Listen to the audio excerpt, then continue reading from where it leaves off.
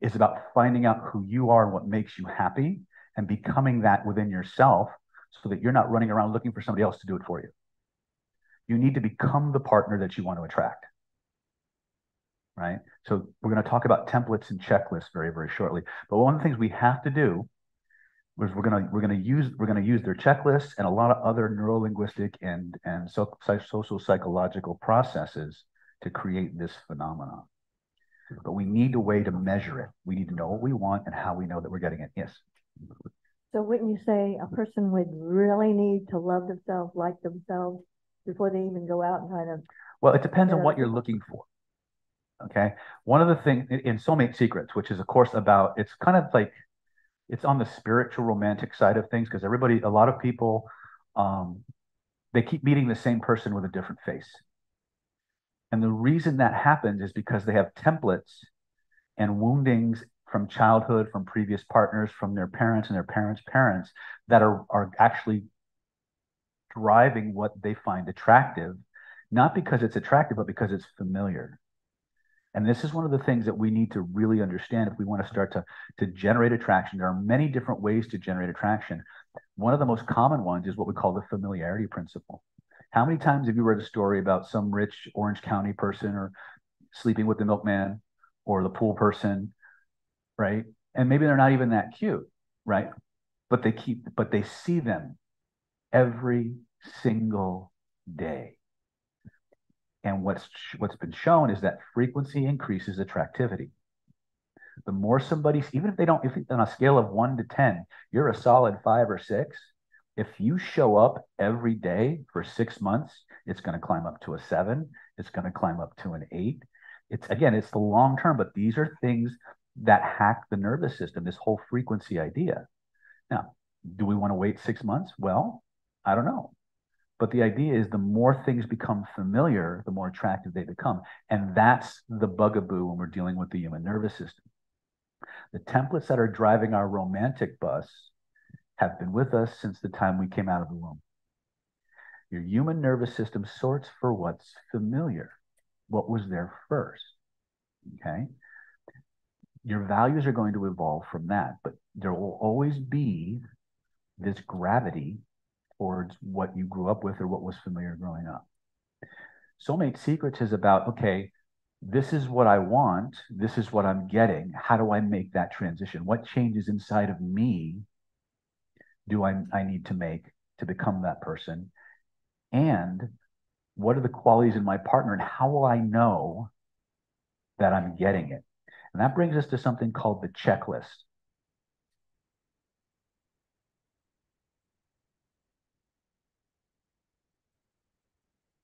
Okay. You see at the center of this diagram, let me just go through this real quick. So we, we talked about knowing your outcome, knowing what you want. Now, I have about 35 personal injury attorney clients who use the exact same stuff I'm teaching you to depose witnesses, to win, uh, to do jury selection, to do negotiation and mediation. I literally have seen on video expert witnesses for my clients' opponents voluntarily trying to waive their attorney-client privilege to answer my client, my students' questions because of these technologies. There's nothing here that's theoretical. The good news is it's 100% ethical. But it's only as ethical as the person using it. There's, there, if you use the system the way it's taught, you never need to lie, cheat, steal, misrepresent, or confabulate in any way. Now, there are systems out there where, where truth is kind of a nice idea, right? But those are mostly for military and espionage applications, okay? Right? This can be used for that, but it wasn't designed that way. It was designed to be on the on the right side of, of ethics and honesty and integrity. That being said, it does make use of some extremely powerful neurological processes and psycho psychosocial processes. So I want you to understand it's, it's fun and it's free, and I want you to take this out and use it. Some of this stuff you're gonna you're gonna hear me say and you're gonna go, "You're full of shit." Best part is you don't have to believe anything I'm telling you. Just use it right? And you'll find that all of your relationships will change, even ones you've had for years. Okay. So the first thing is know your outcome, know what you want, know how you're getting it. The next is control your state. Now, this is uh, my, my good friend here is a, a Qigong person. And one of the things that we talk about in the Qigong world is you have these three bodies, right? You have your, your soul, your eternal soul, then you have your physical body, right? And you have your energy body, then you have your spirit body. Your, physiolo- your physiology controls your psychology. So anything that changes what happens in your body changes what happens in your mind, which takes it from the physical form to the energy form to the to the spiritual form. That's where they all meet, right? You said that so fast. People need to hear that. Which part? Okay, your physiology controls your psychology, right? I've been saying this for decades, so uh, it is. And and one of the things that we're going to talk about is we want to make people, we want to move through the world, making everyone we meet feel ridiculously good about us. Okay. Now here's the the corollary to physiology controls the psychology. The fastest way to change anybody's body feelings is to change yours first. Fastest, most reliable way to change your feelings is by changing your posture and your breathing. Come on in, don't be bashful. Right? You look familiar. Have you been to my meetups before? Yes, I remember. Um, All right. Um, what's your name again? Cynthia, welcome. Um, let me go back to menu for today. Um, and I love questions, so don't be bashful. Uh, I, but I will warn you, the more questions I get asked, the more rabbit holes I tend to go down. So, um, Cindy, what do you want to learn today? What do you want to take away from today's class?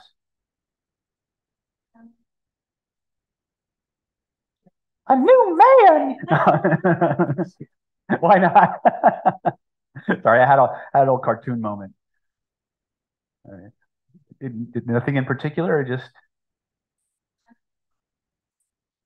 Mm-hmm. Okay. All right.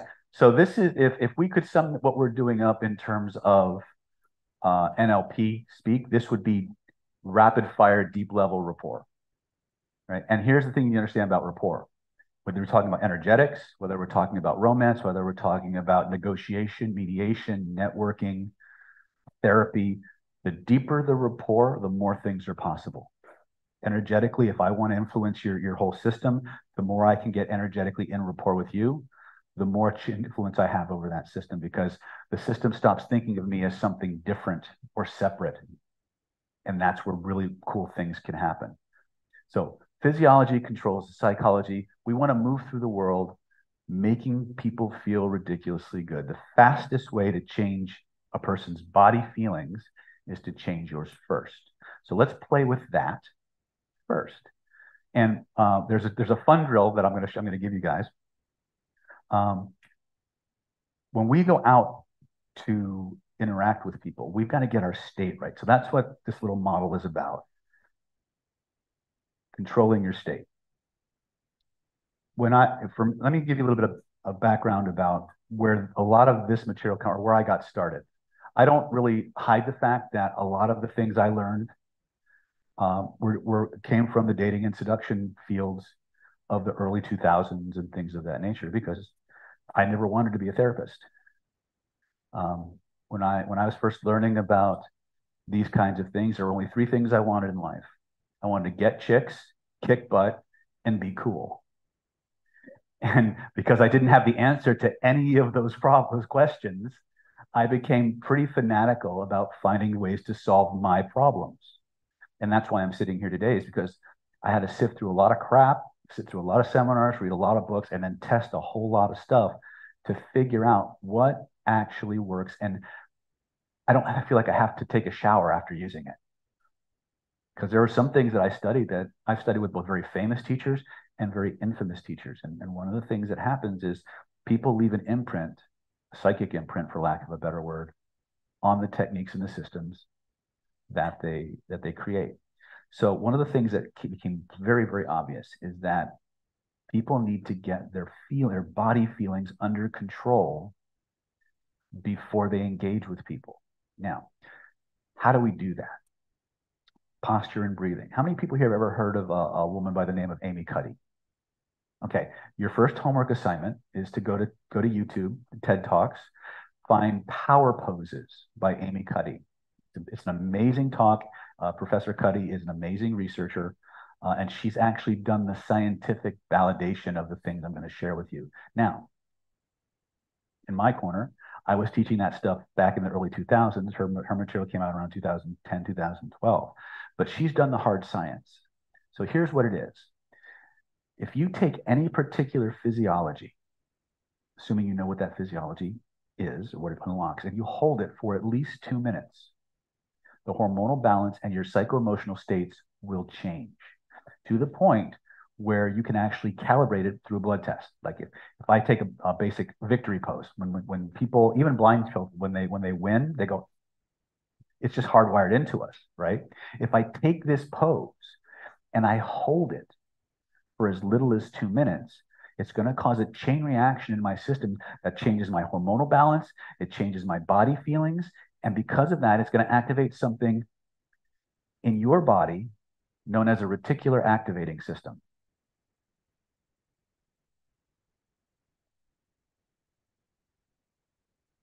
Sure. Harvard did a study about that. Yeah. Okay. The reticular activating system, or RAS for short, is a part of your neurology that controls what you pay attention to and the meanings you assign to it. So if I go into a room and I'm feeling great, I'm feeling victorious, I'm feeling powerful. If there are eight things in that room that are negative and two things in that room that are positive, because I enter that room in a positive, triumphant, victorious state, guess what I'm going to psychologically and, and attentionally orient on first? The positives. So if I can tap into that state, everything about my consciousness changes. Now, this how does this apply to dating? Most people, and when we're talking about dating or, or, or approaching for that, and we'll talk a little bit about the dynamics of that, both both genders want to be approached, but they have different hangups and different fears about the approach. Men are terrified of getting rejected, right? When they see an attractive woman, they're like, you can you can you can feel them psyching themselves up. I'm the greatest lover in the world. I'm the greatest lover in the world. I'm the greatest lover in the world. I'm the greatest lover in the world. And then they go to make the approach like,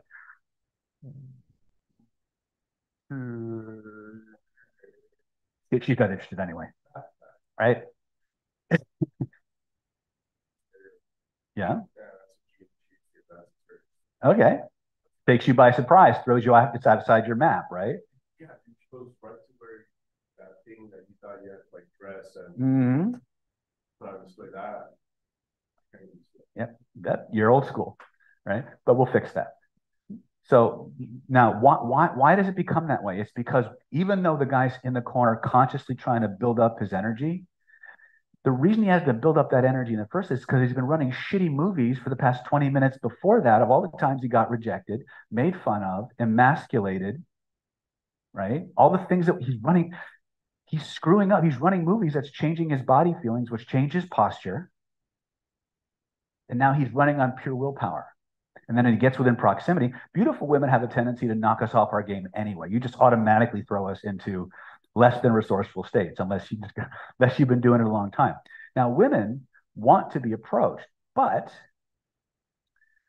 they've been sold a bill of goods too. You see, eh, there's a, in certain, and again, this may be different with some of the younger generations. So please, for everything I give you, you can find an exception. We're not here to talk about exceptions. We're here to talk about generalized templates that we can apply, overlearn, and then we have the bandwidth to focus on the things that are different. Women, two gaps in their socialization. One is they're taught many times to use body language that doesn't signal to the person that they're attracted to that they're attracted to them. Uh, maybe maybe you remember maybe you were taught this maybe you weren't were you taught and i don't know i'm just asking that if you're attracted to a guy or a girl don't make eye contact with them.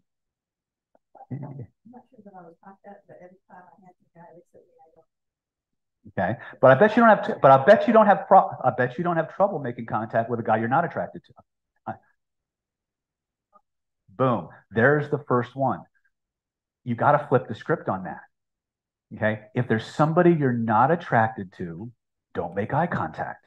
The studies are there. The longer you have eye contact with someone, the more attractive they become.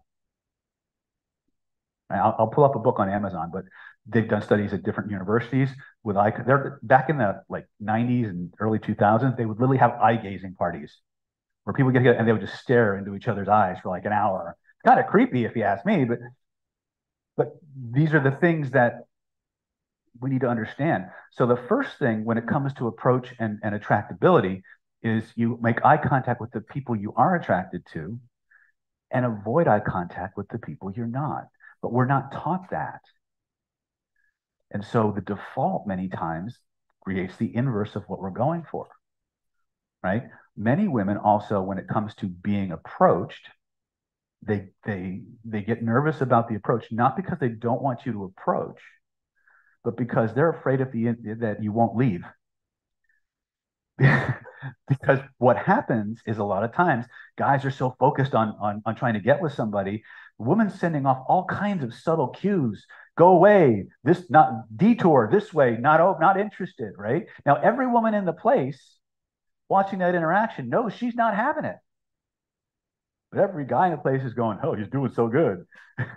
Why? Because you have different sorting mechanisms women as a byproduct of their evolution have developed this amazingly powerful social radar right? You can uh, you can have a single guy standing in a group of women talking and at some unbeknownst moment every woman in the group knows the conversation is over and they're gone and our hapless hero is like shit, I'm alone. How did that happen? Right? So, one of the things that we as men have to do is we have to train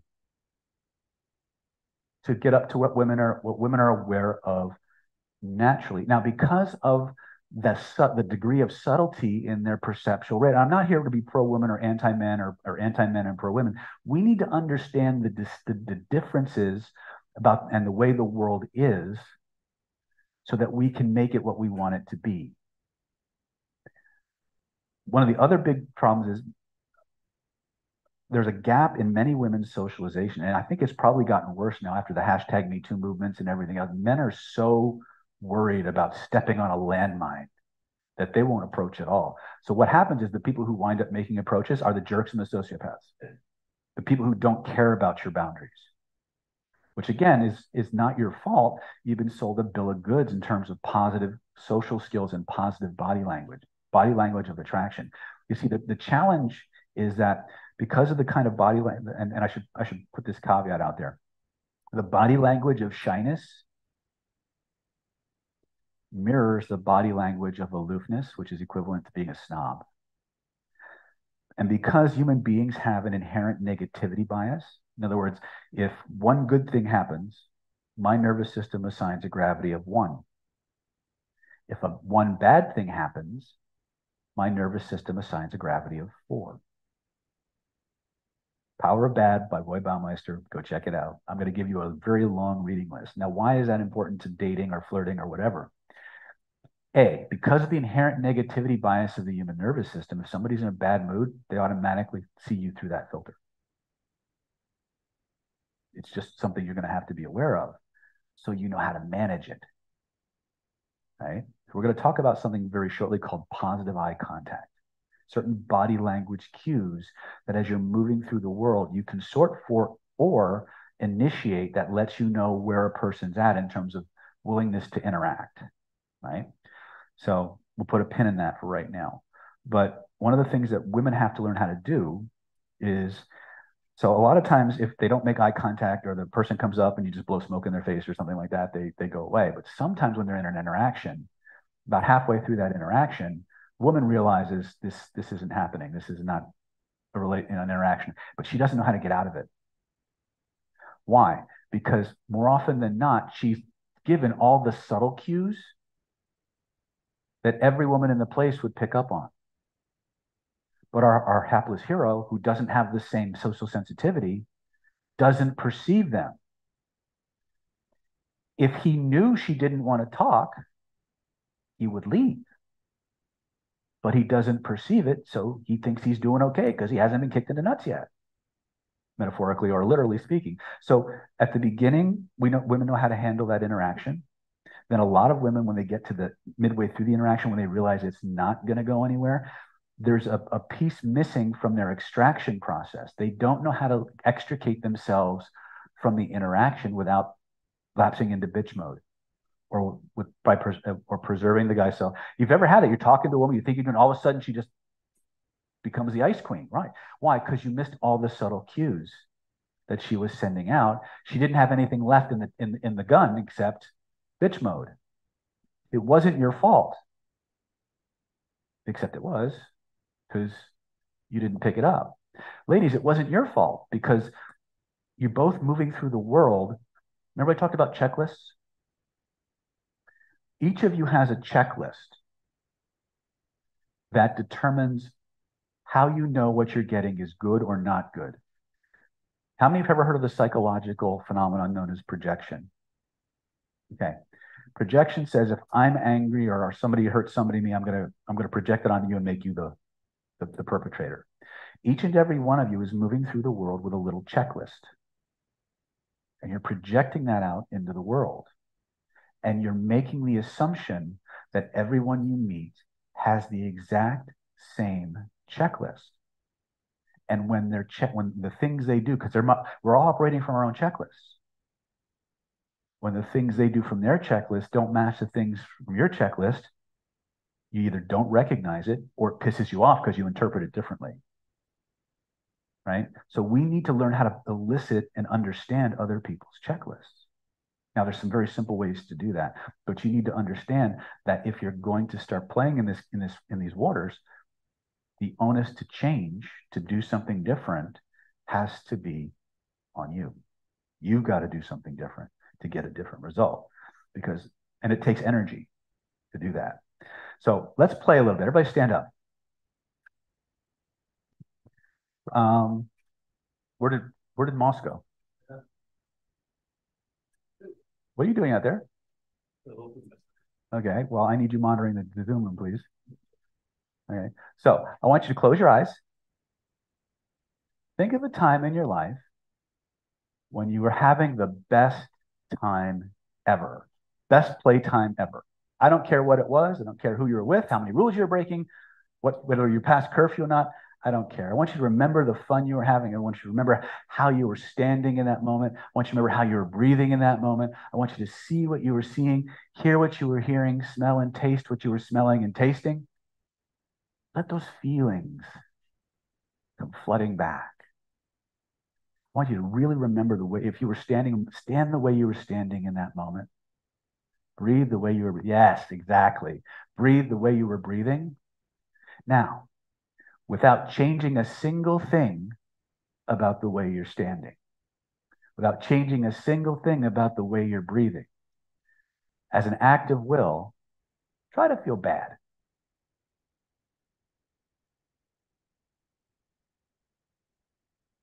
It's a lot. you, you got to actually work hard to do it. It's hard right? Because your physiology is stronger than your psychology.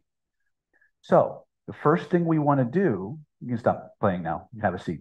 Now this works the other way too. In, in, in a lot of our classes, what I'll do is I'll have you go into the positive side and then try to feel bad. And then a lot of times I'll have you do is I'll have you go back to a less than positive time, go into that body language, and then try to summon up your willpower and try to feel good. For the sake of time, most people can't do it.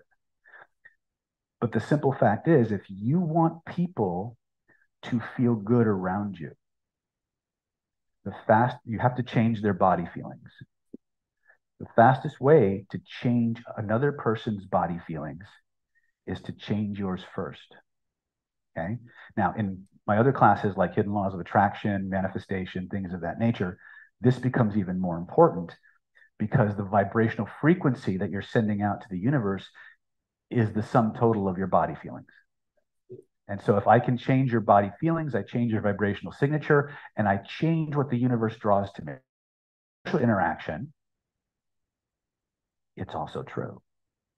If there's somebody I want to approach, I can approach them in a nervous state, a playful state, a curious state, oh, she's going to reject me state, or he's going to reject me state. Which one do you want to be in?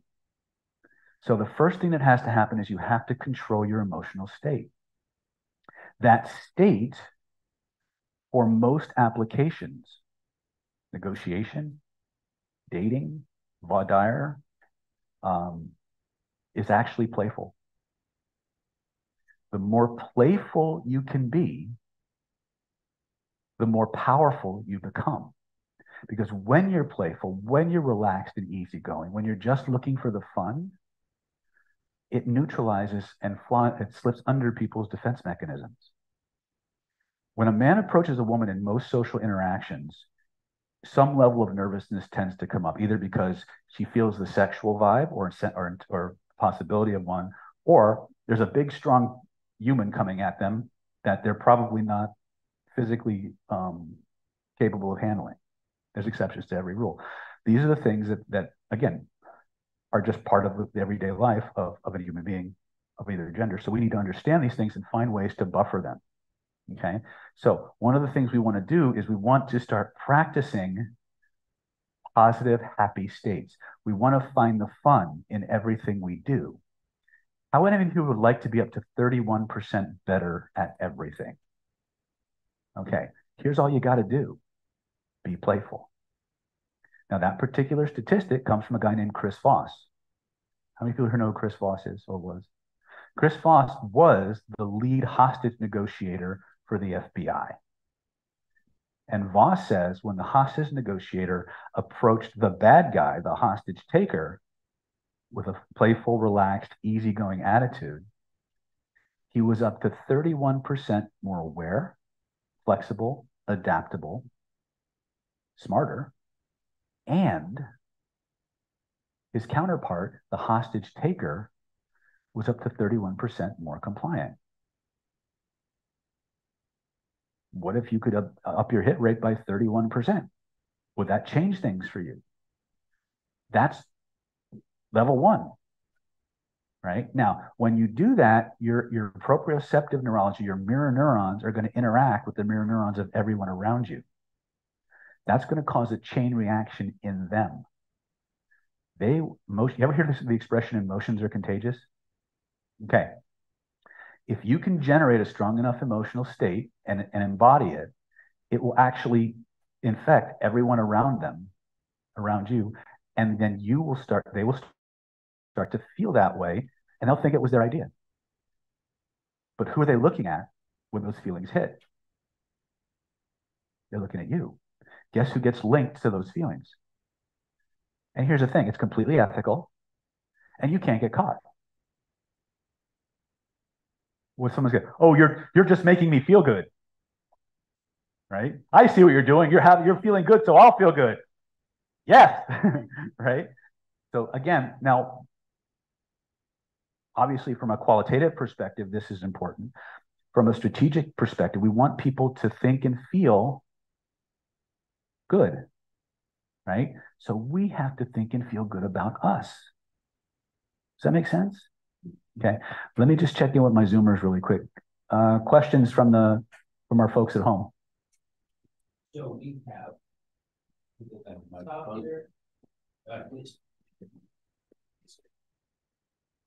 Testing. There we go. No avoid feedback.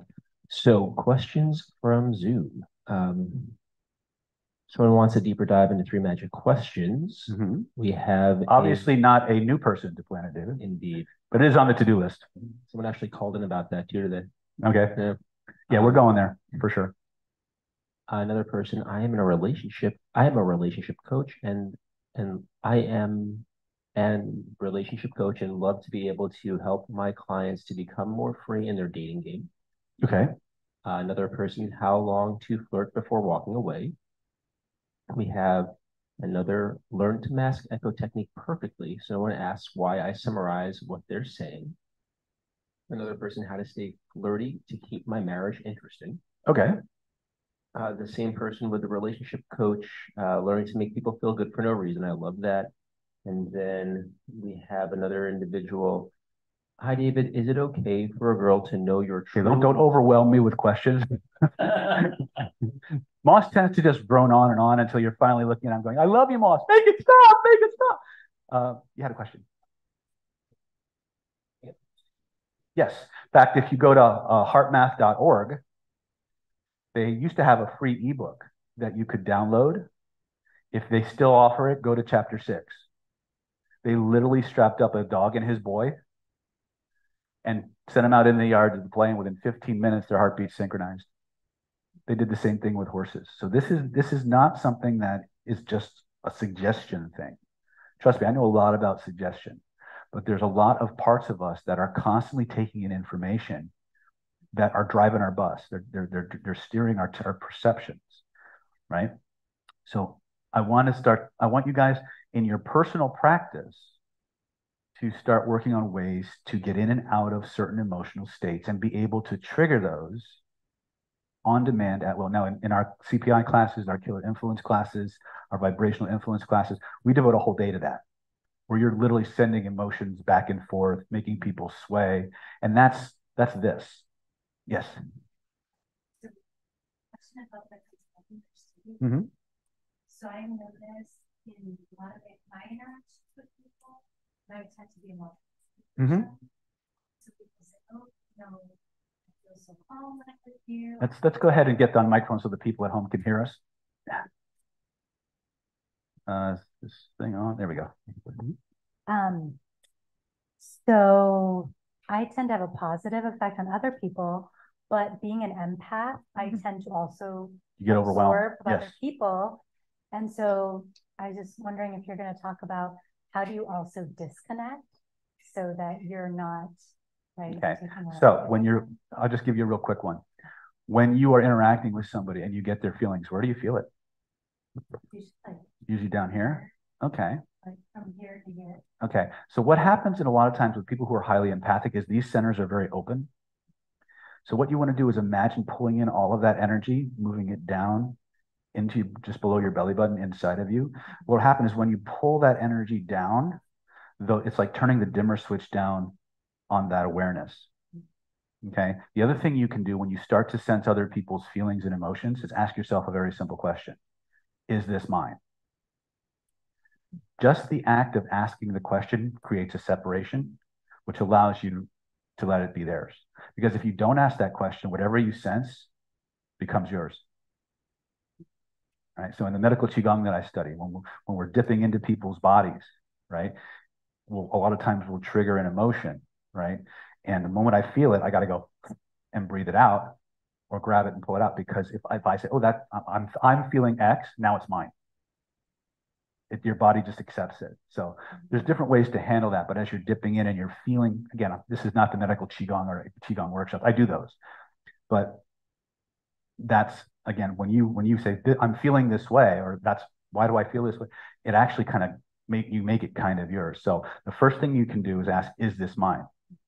Another question you can ask, and this is one of the, the, the amazing things about your nervous system, is that your the quality of your life experience changes by the quality of the questions that you ask. So when you feel a sensation in your body, aside from the question, is this mine or somebody else's? What else could this be? So if I get a feeling that I, I, I interpret as fear or anxiety, first thing I want to do when I become aware of that feel is what else could this be? Just the act of acting, asking that question separates the label from the sensation and gives you the opportunity to label it something else, which your nervous system will now attach different meanings to, and you'll access a different set of memories. Now, if you want to get the, the neuroscience behind that, How Emotions Are Made by Dr. Lisa Feldman Barrett. A theory of constructed emotions. Okay. Like I said, there's there's redonkulous amounts of, of neuroscience behind, but you don't need to know all that to do it.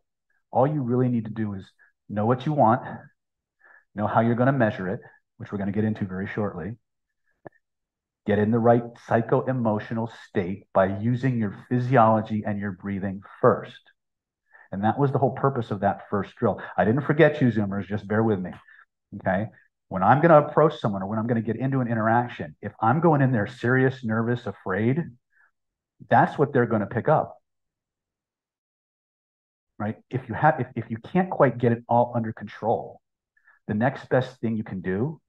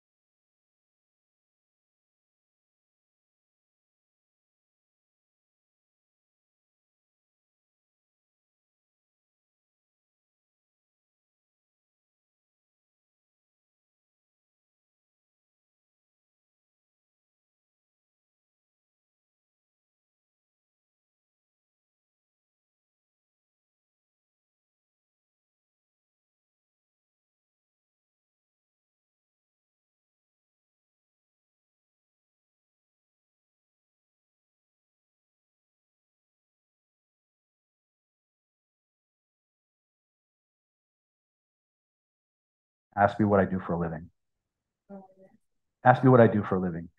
What do you do for a living? I'm an ass model. You might have seen my ass on a bunch of different covers. now, is it, it's obvious I'm, I'm, I'm, I'm, I'm bullshitting her, right? But I'm doing it in a fun, playful way, right? That's cocky funny. Or if, if she were to, if, if I made a joke and she touched me, just, hey, this ain't free. I'm not a sausage with feet, 50 bucks right? That's cocky funny. That's it's like teasing your bratty kid sister, right? Very, very disarming. Think moonlighting. If you ever watched the show Moonlighting or, or any you ever watched that that snarky one-upmanship dynamic? That's catnip in relationships. The reason I bring that up is because if you're going to flirt, this is kind of the energy that is helpful to have. The problem is if you don't have playfulness down, you're not cocky funny. You're all cock and no fun right? And and that and that was that was the problem that my friend Joseph had. Is he would go up and he would approach these people, but he was so nervous and he was so stressed. He would deliver these teasing lines and they would get blatantly offended. Why? Because he had the technique right, but he didn't have the state right. And if you want to make approaches, if you want this to really work, it's got to come from the body first. You got to get your body state right. If your body state is right, 93% of everything you need to do happens automatically. Literally, if my body feelings are right, my posture is right, my breathing is right, my gestures are right, my tonality is right, my eye contact is right. I could get all the words wrong and still be redonkulously attractive. Why? It's because all the other things are handled automatically. But when people are trying to learn these things, they learn them backwards. They're looking for the magic words, the magic clothes, the magic body language, right? And they're so they're managing it from you guys know how your brain is layered, right? You have what we call the neocortex, that's the new layer of the brain. And then you have what we call the limbic system, which is kind of like the mammalian emotional brain. And then you have right in the center, right at the base of the brainstem, is the reptilian brain. Attraction works from the brainstem up, but most people try to do it from the neocortex down. And so everything is out of whack. You're incongruent. Your words don't match your gestures. Your gestures don't match your posture. Your eye contact doesn't match anything, right? Because when when you when you're in the throes of attraction, this is what happens to eye contact. Hi, how you doing? if if you can do that, sometimes, hey, I, what are you doing? Right? Because you, you're terrified of making eye contact. It's like I accused Yeah. from. Yeah, you just again, we're gonna. I mean, I'm I'm I'm a I'm pretty up on body language, but we're gonna talk the big pieces today because if you can't get the big stuff, you're you're gonna completely miss the little things. Yes, sir.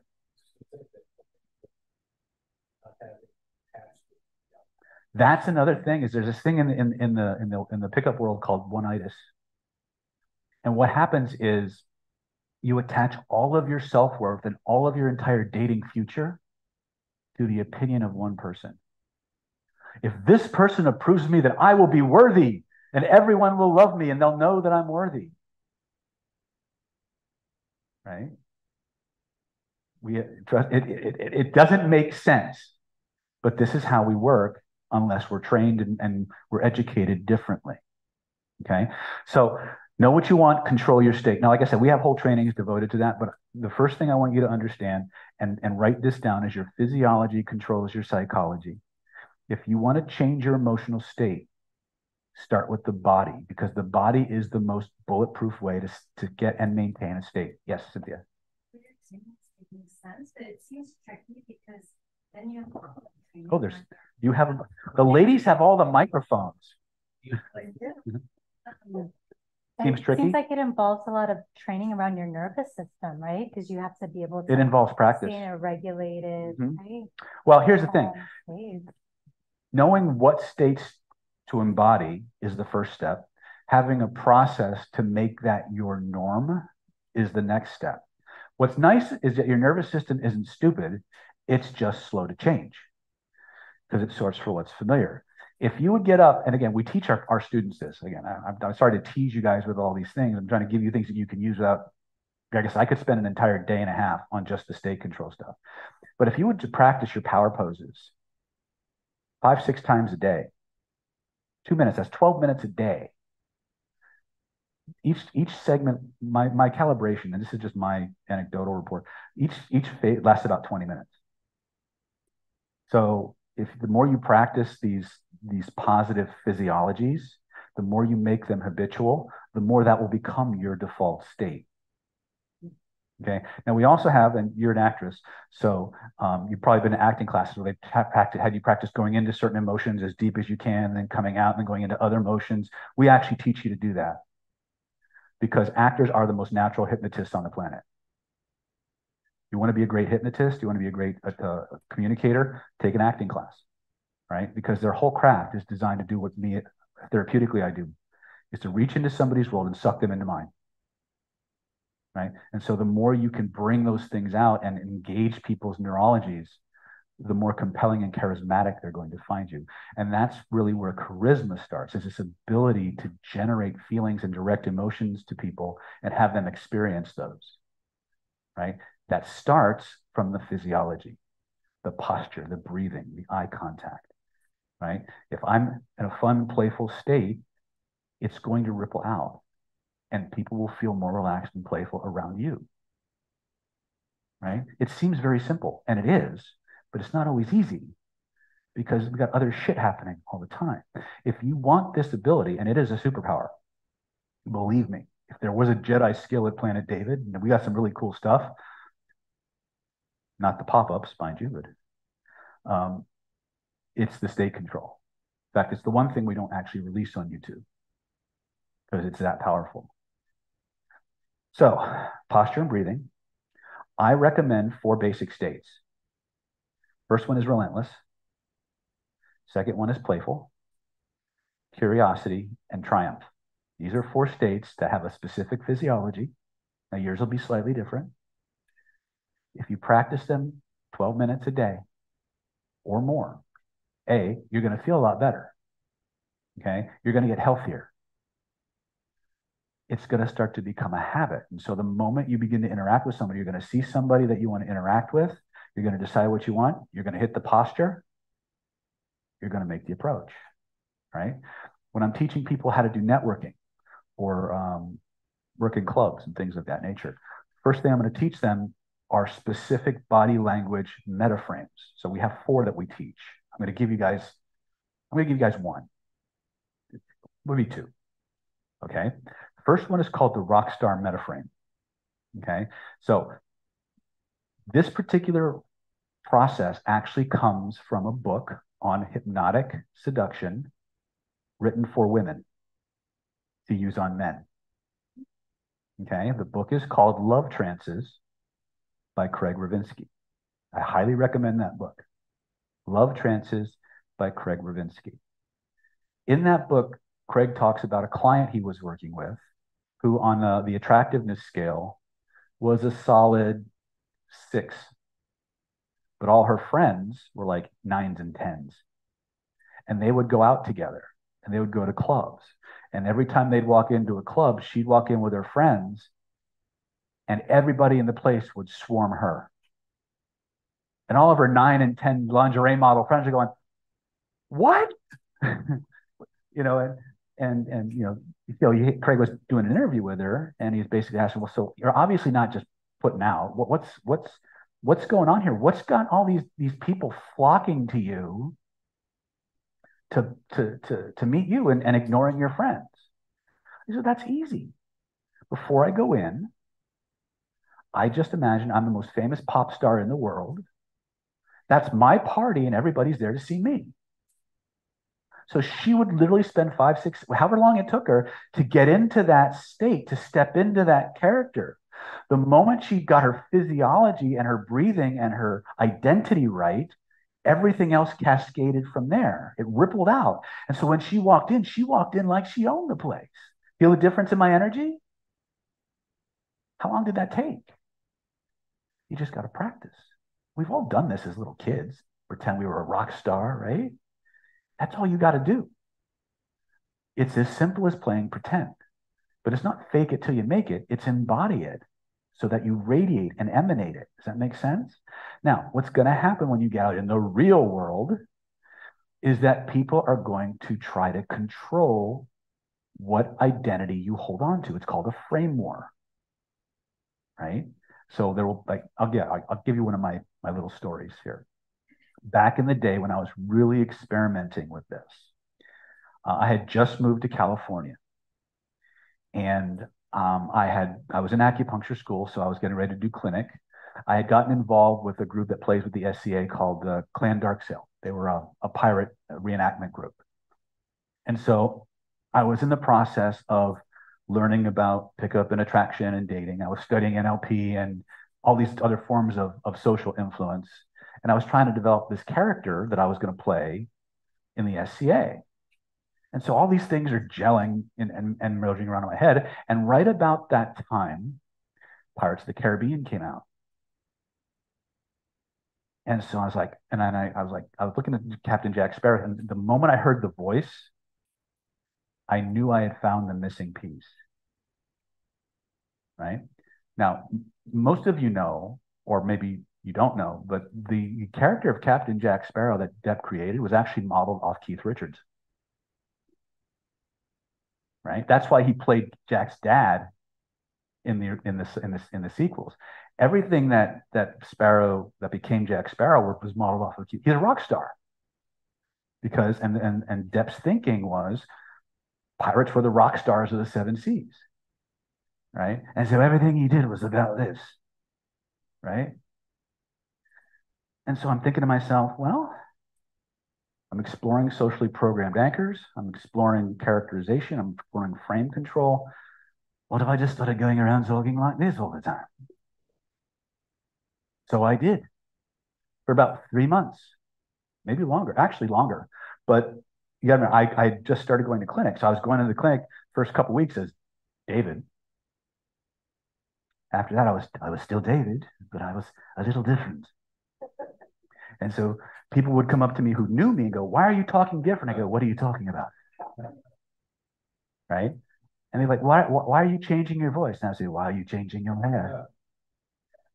Why can't you be somebody? Why can't you be original? Why, why can't you? Why are you really? Right? And every female in the place,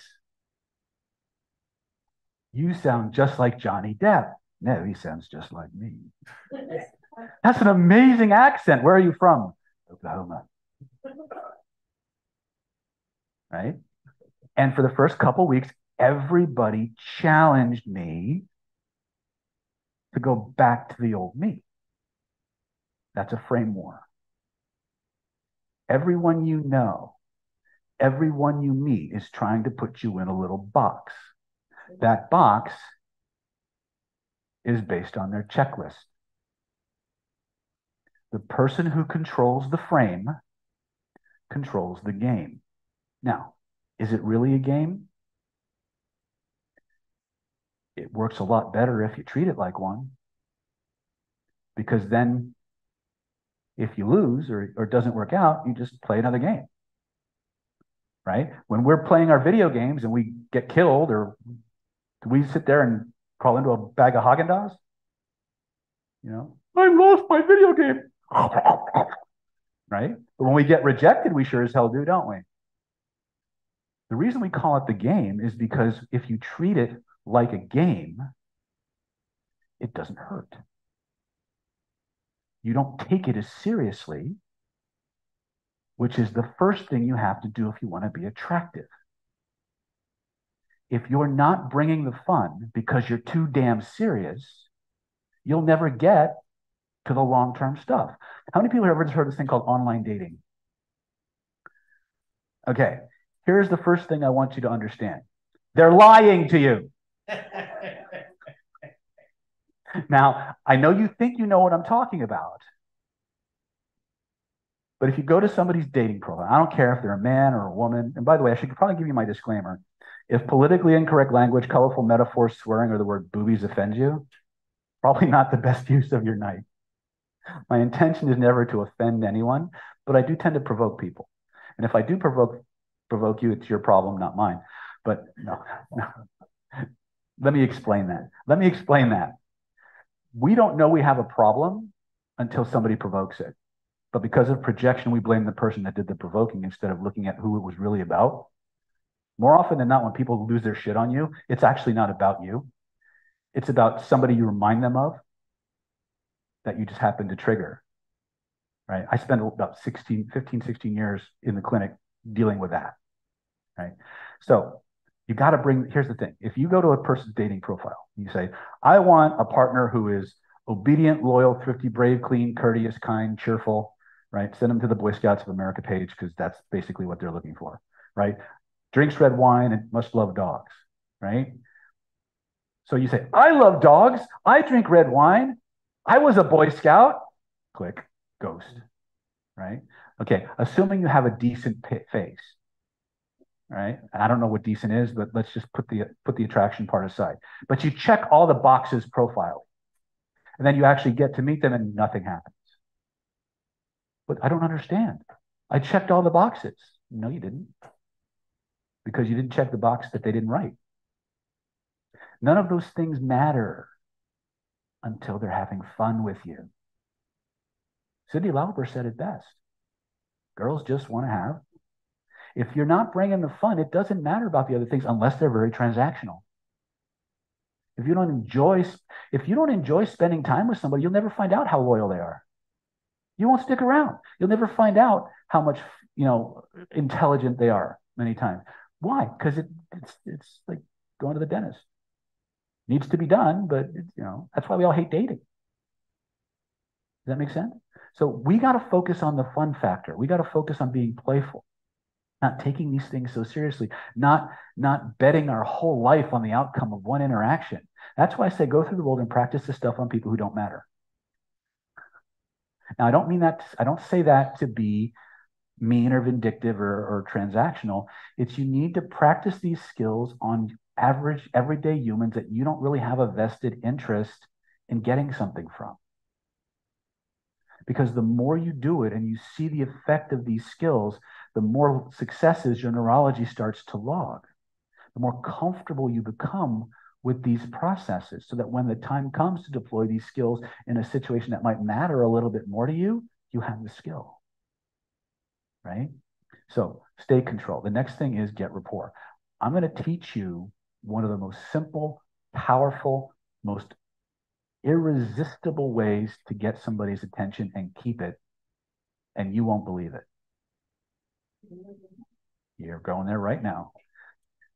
The most powerful words any human being can hear at any given moment are the words that just came out of their mouth. Literally, you're going to actually, you're going to actually break up into groups and do this. Uh, what is called the echo technique. Now, I could give you all the different studies that have shown this, but we'll start with hostage negotiation. Uh, researcher by the name of Alexander Pentland from Stanford University, in his study on honest signals, discovered that when people mimic each other, their compliance rate goes up by 30%. People who mimic their partners in speed dating and uh, job interviews got up to a thirty percent, an average of a 30% pay increase. When somebody speaks, every filter they have is connected to everything that comes out is connected to this checklist. Every gesture they make, every word they select. The more perfectly you can match the checklist, the more their nervous system literally can't not pay attention to you. Because your, your, your, your nervous system is moving through the world pinging everyone it interacts with to see how many boxes it can check. Okay. The more boxes that you check, the more focused on you they become, and the more they want to interact with you, the more they want to share and self disclose. I'm teaching you the echo technique first because if you, like me, somebody who hates small talk, right, this is a lifesaver. If you want to find out if this person is a fit for you, this is a lifesaver. So people on Zoom are asking about three magic questions. We're going to go into that next, but if you don't have echo technique down, three magic questions is a little bit tougher. Okay. The most powerful words any human being can hear are the ones that just came out of their mouth. Okay. Now, when I teach the echo technique, I teach it in several layers. We're only going to do level one here, which is verbatim echoing. Okay. So when you get with a partner and you start having a conversation, I want you to listen to what they're saying. I want you to analyze, well, I want you to repeat, memorize it verbatim, right? And I want you to use as many of their words in your reply as you can, as close to the order they came out as humanly possible. Now, here's what I don't care about I don't care about how fast they talk. I don't care about what tonality they use. I don't care um, what words they emphasize yet. I want you to focus only on the actual words that they use. Okay. And I want you to watch the response you get from people when you do this process. Okay. One of the things you'll notice is that when people start to hear their own words come back, they go into a very, very powerful trance state. Because everything that just came back is a perfect key to lock fit to what they're looking for. When they hear their own words come back, they feel heard, paid attention to, understood, validated. And human beings are desperate for that level of connection.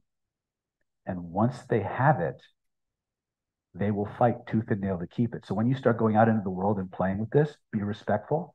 Because if you go to some place like Denny's or restaurants or, or any place where a server can't escape you, right? And you start echoing their words, you will probably get better service than anyone in the place.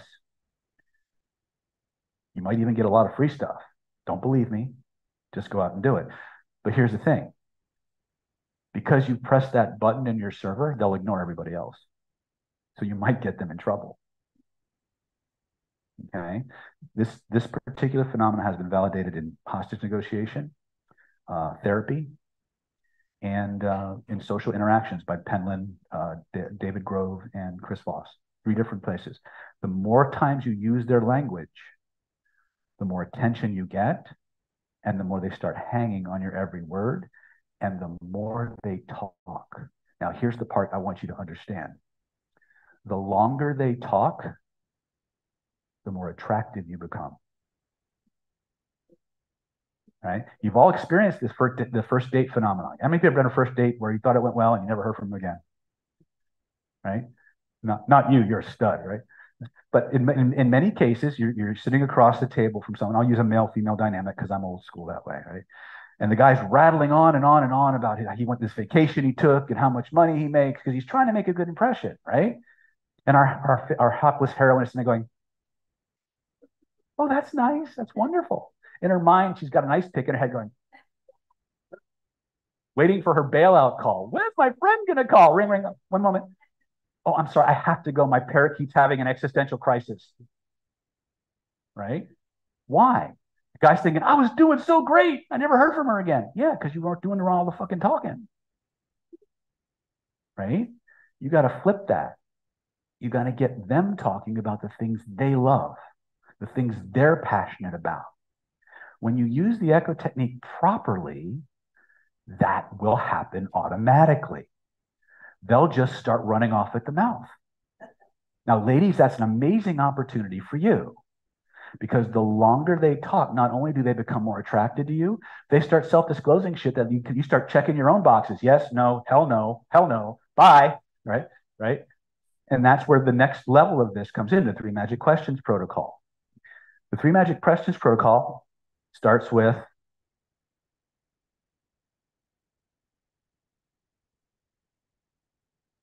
And if people want, I, can make a PDF of some of the things we're covering. Is this useful? You guys? Uh. Oh yeah, we. It's not uncommon for people to up their closing rate by 40, 50 percent. Boom, right? It's a universe. It's not. It's not a sales thing. It's not a dating thing. It's a human thing.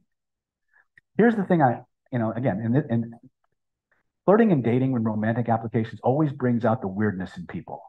But I'm going to give you something very. I'm going to tell you something very, very true.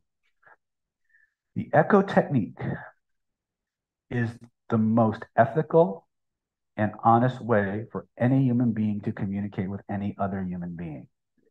Why? Because it completely matches the way your nervous system is designed to want to be communicated with. Now, it's going to be weird for you to deploy the echo technique on somebody or with somebody else because to do what somebody else is doing means you can't do what you're used to doing. We call that the spotlight effect. Any see you you you feel organic when you can just be yourself and communicate the way it's normal and natural for you. The problem is is that when you communicate in the way that's normal and natural for you, it may not be normal and natural for the person you're actually trying to communicate with. So you need to step into their world, which means it's kind of like trying on somebody else's clothes. They may look good, but you know they ain't yours. And because you know they ain't yours, you think they know it because you're projecting. Untrue. I challenge you to try and get caught with this. You have to work really, really hard. But the best part is, if you adopt the attitude that I teach along with this echo technique, which is this is the most ethical, desirable, validating way for one human being to communicate with another. We use the echo technique because it conveys that we understand them, because it actually does. In order to use the echo technique properly, you actually have to pay more attention to a human being than you normally would. But when you speak the words back, they feel like you got them because they feel like you got them, they want to give you more, which means your value in their world goes up. And if they catch you, which happens from time to time, they'll say, "Why are you repeating everything I say?" You just look at them and say, "Because I want, I want to really understand you, and I want you to know that I understand you. Is that okay?" Now, if they say no, you got other problems. But that's the truth. isn't it? Now you can only you can answer that for sure, but trust me or not, if you move through the world coming from that place, even when you get caught, there's nothing to catch. That make sense? You don't have to lie. It, the only time that things will go against you is if you get caught doing it and you stop. Remember, I said everybody around you is going to try and attack your frame. There's this old chestnut in classical NLP that if you're trying to use rapport skills on people and they catch you, it'll break rapport. Here's the hack to that that only happens if you stop doing it. If you just keep going, eventually they'll just forget about it. But if you break, if they break your frame and you stop, you've just you've just validated their frame. You've lost the frame. So again, part of this job, part of this process is learning how to stay in character, stay in that mode. Right. That's why the, what I did in the clinic was so helpful for me. I mean, I had an acting background to begin with, but this was like trial by fire. I'm walking in with a patient talking like fucking Johnny Depp. Actually, not Johnny Depp, Captain Jack Sparrow, different character, right? Yeah, right. And I love it. If you go to, you can go to my YouTube channel. You actually type in Captain Jack the Hypnotist. You'll see a video of me doing deep trance identification with somebody as Captain Jack. Actually, the, the, the, character I was using was Arik the Red International Man of Mystery, which was a hybrid. It was actually Captain Jack Sparrow, Westley from The Princess Bride, Austin Powers, uh, a little bit of Tim Roth, uh, Tim Roth's character from Rob Roy, and James Bond. That was those were the pieces I, yeah, classic romantic hero archetypes in a in a specific proportion with an, an emphasis on the silly and the slapstick. Right. That was the character I put together for my Clan Dark Sail but I took a small, a slightly less extravagant version, slightly less. I put on my white lab coat and I went into the clinic and I just looked like this. How are you today? Right? And it, it every every female and again because that's my orientation every female in place probably some of the men too but i wasn't paying attention to them like why a because hollywood spent a redonkulous amount of money to put that avatar into the minds of every single person. If Hollywood puts spent all that money to put it there, why don't I just use it? That make sense? So this is again, this is what I do in the power goes. This is what I you know, I geek out on this stuff, right? But my job is to make this easy. Control your body, control your breathing. When you approach somebody, hold the energy. Make sure it's a fun, playful, outgoing state. Now, let's talk, let's talk a little bit, let's close the loop a little bit on your body language, and then we'll get into the echo technique, and then we'll do three magic questions. You guys having fun? Yeah. Yes, sir. Let me get these guys doing uh, doing their exercise, and then I will, I will actually I will have my whole undivided attention. Okay, so body language. Body language is on a continuum. Okay, if I walk up to somebody like this, right? First of all, I've got a massive graphite pole up my ass, right? So I'm probably pretty reliable.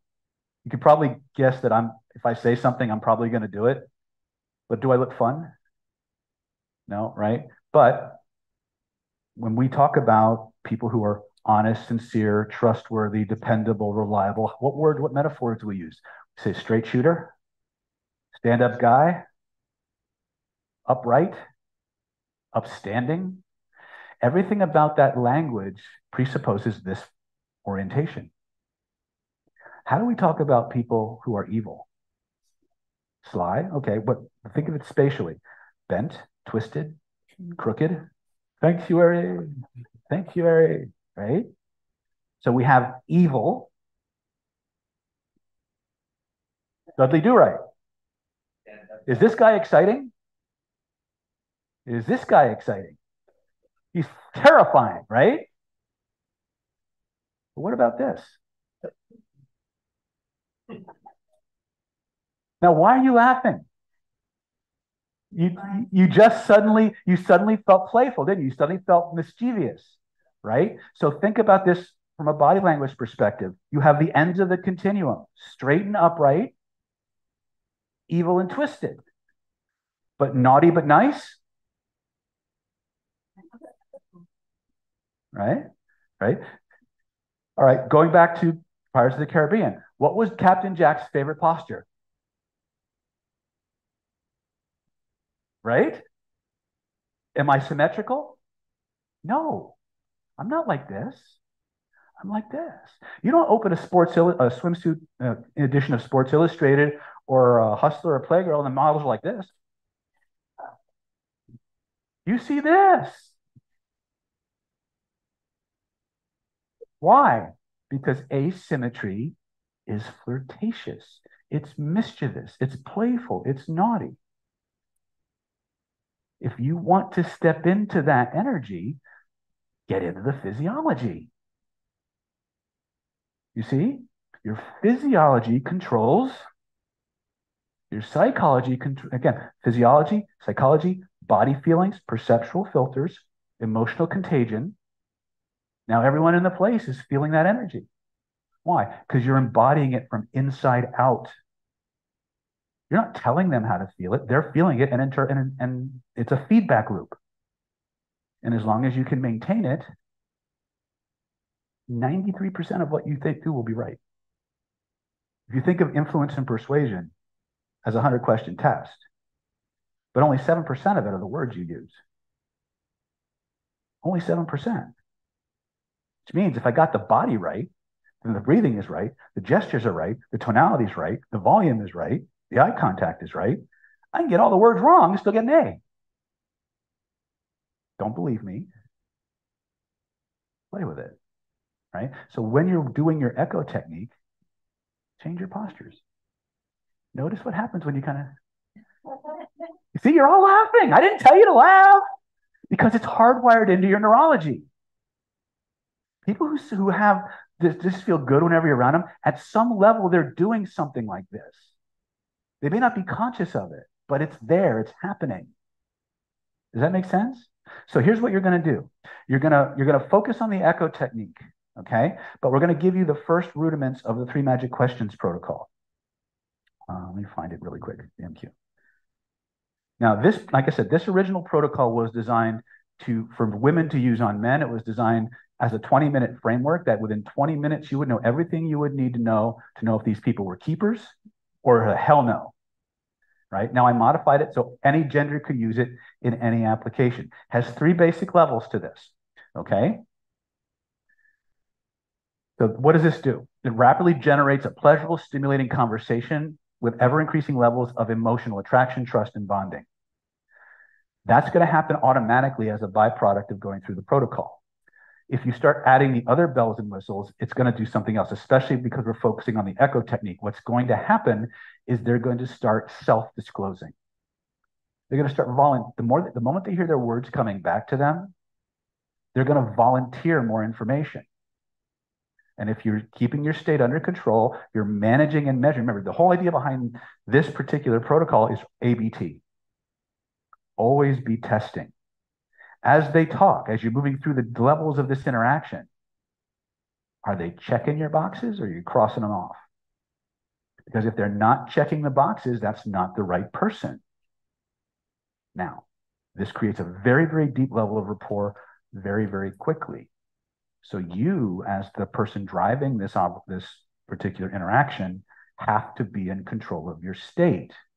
You have to be evaluating the quality of their answers versus your values, versus what you know checks your boxes. Now, again, in our trainings, we go really in depth into this stuff, but I can only paint broad strokes. Why?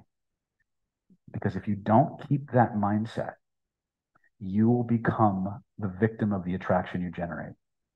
How many people here have ever dated somebody with potential? right? You don't want to date people with potential. You want people who are actualizing their potential, right? Have you've ever sat across from another person going, you know, with just the right person pushing the right buttons, they could be this and they could be this and they could be this and we could do this? You've just seduced yourself.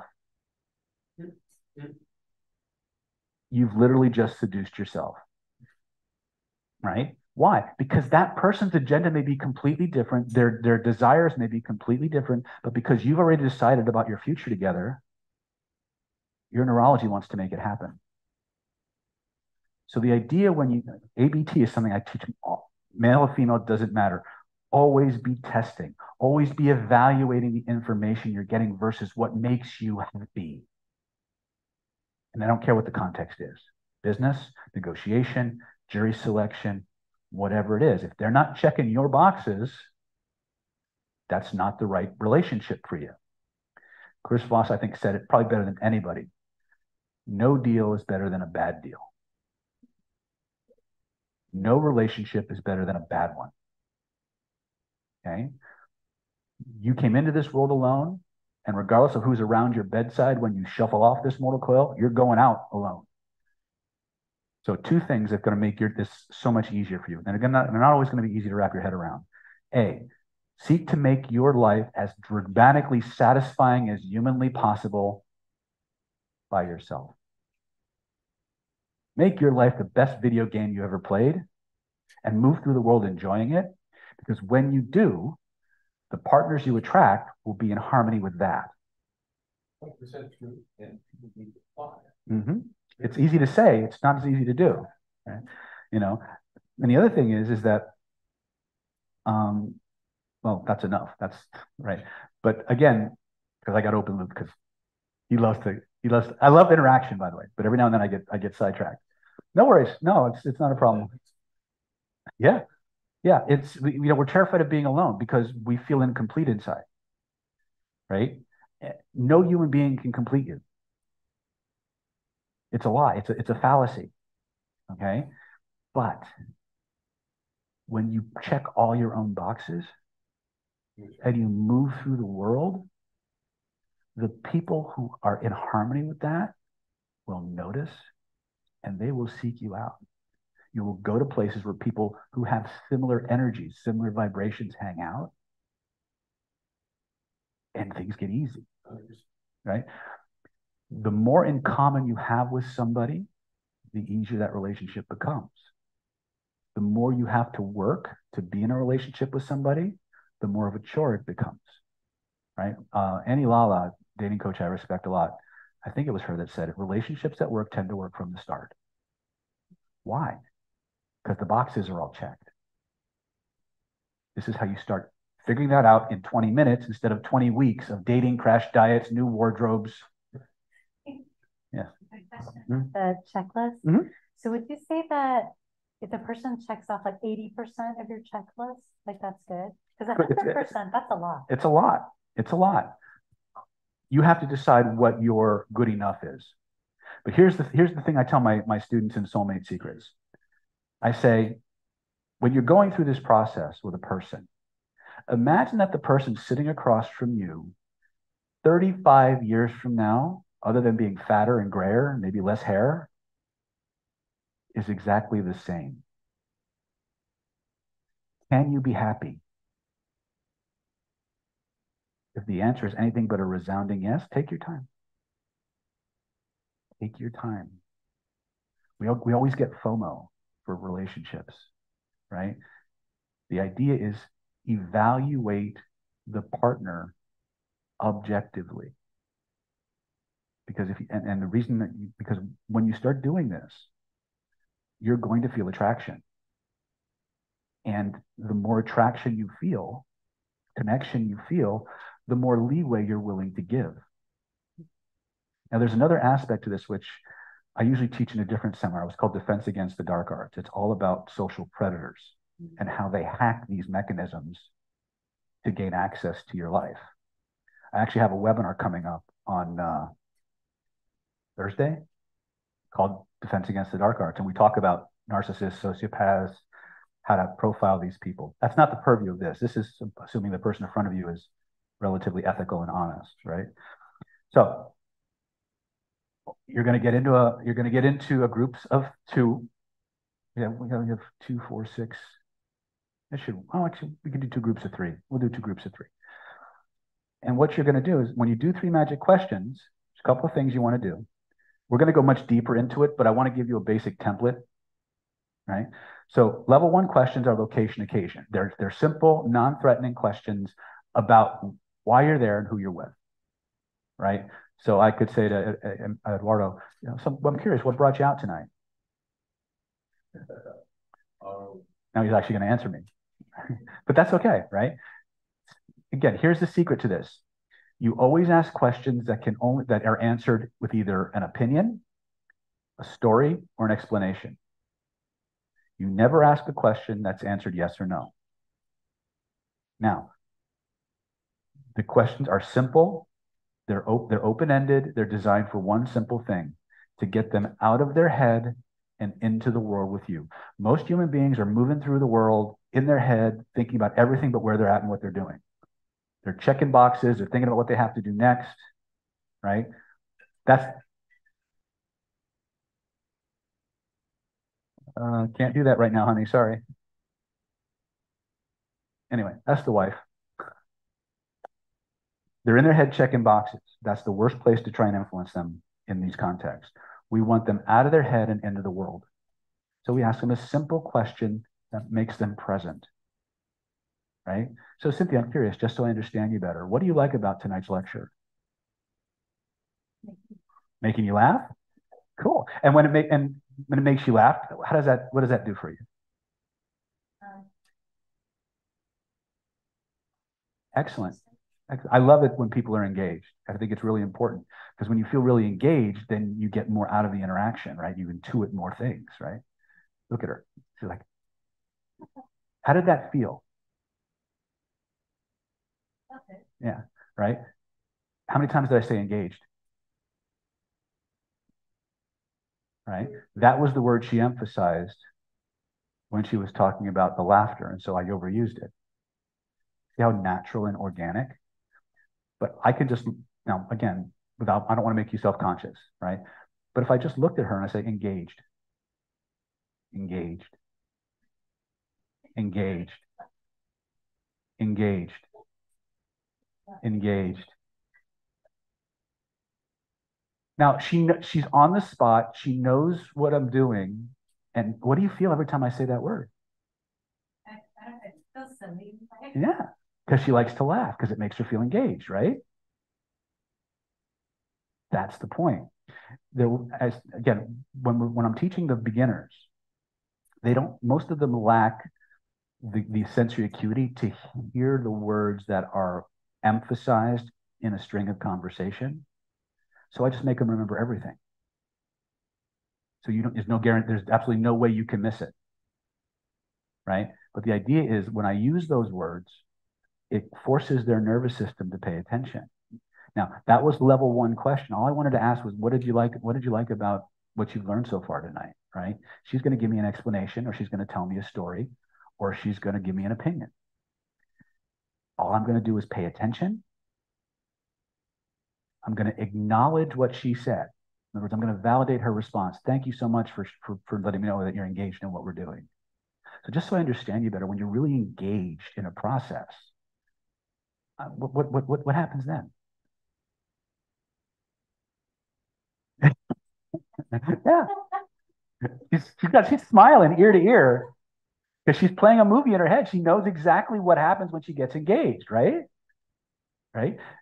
She can't not do it. Yeah. Good. Great. And what's I'm curious when you say it's good, what do you like? What what makes it so good? See, so all I did, what did I do? I I asked a question.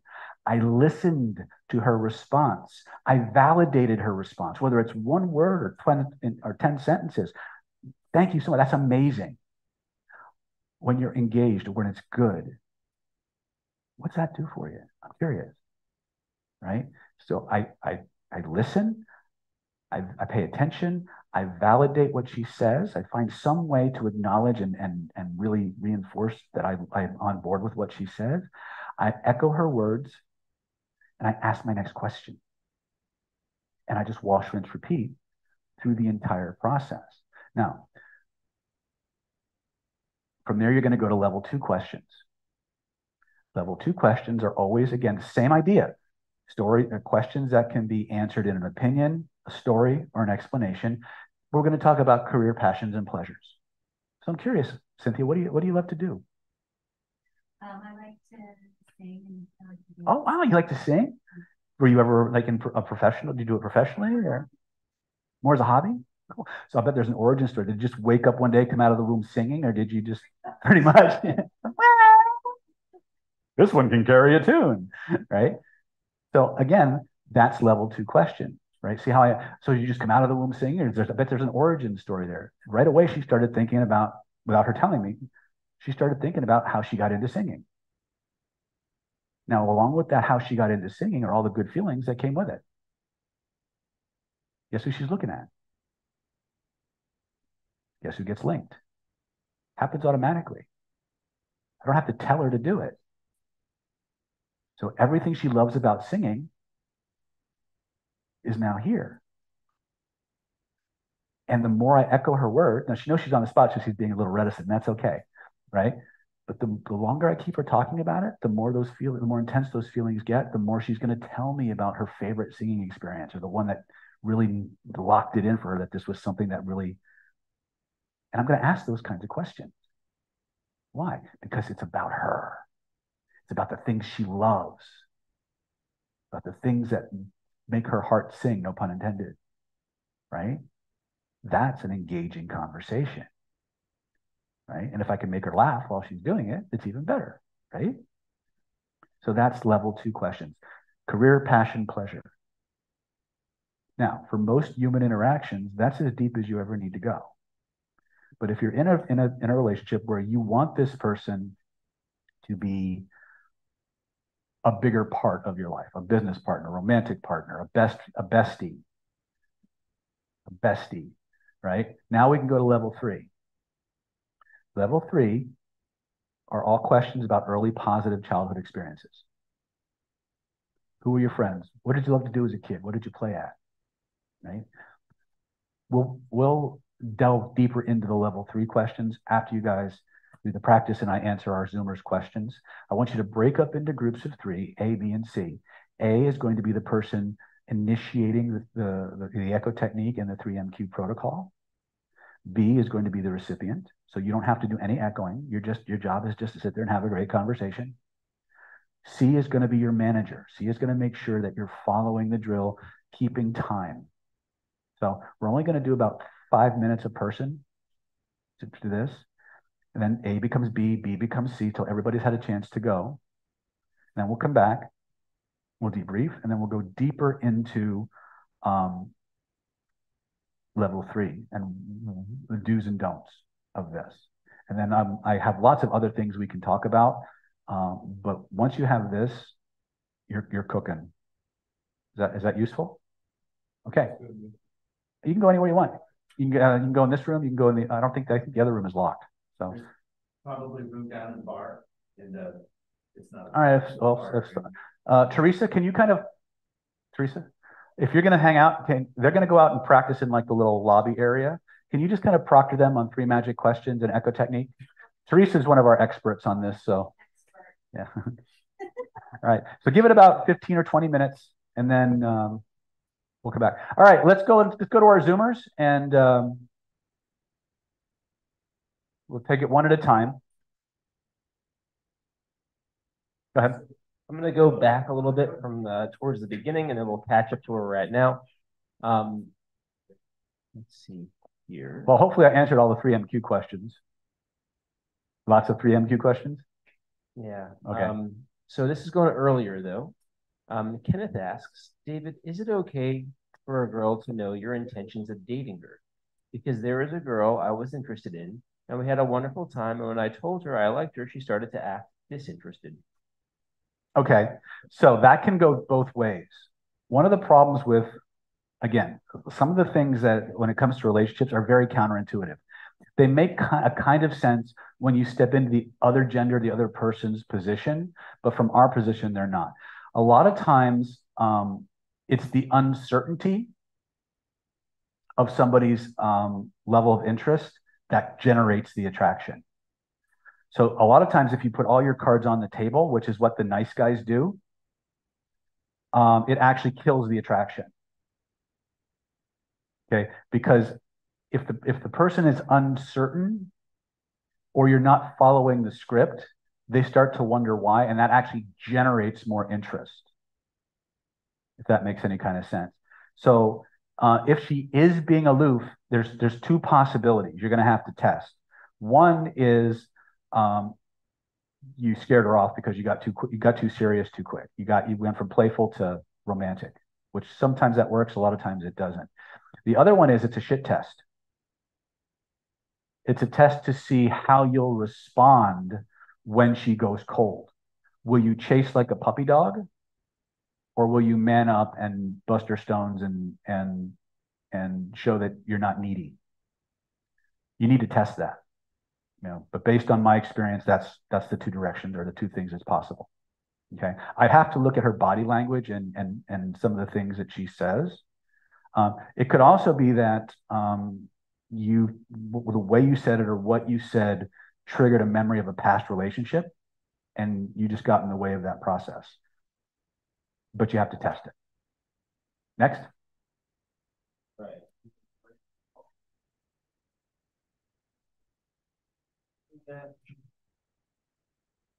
All right, so.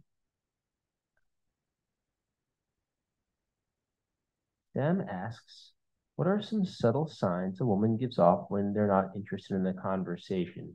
And and when I think referring to like also if they might get a little bit um before they get unfriendly, like Yes. Off. So one of the things you want to look at, three basic three basic areas you want to look at first.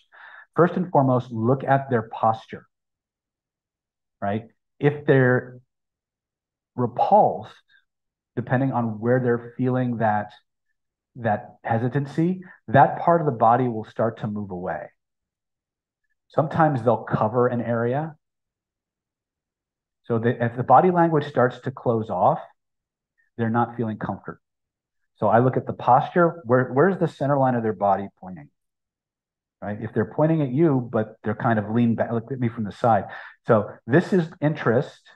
This is neutral. This is I need to get away. Right? So this is the ventral line of your body right here. This is where the, all of your organs are. This is the most sensitive area of our body.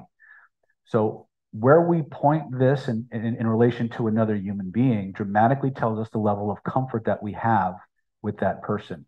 So when you're talking to somebody, uh, first thing I want to look at is where is their center line pointed? Is it pointed directly at me? Is it pointed off to the side?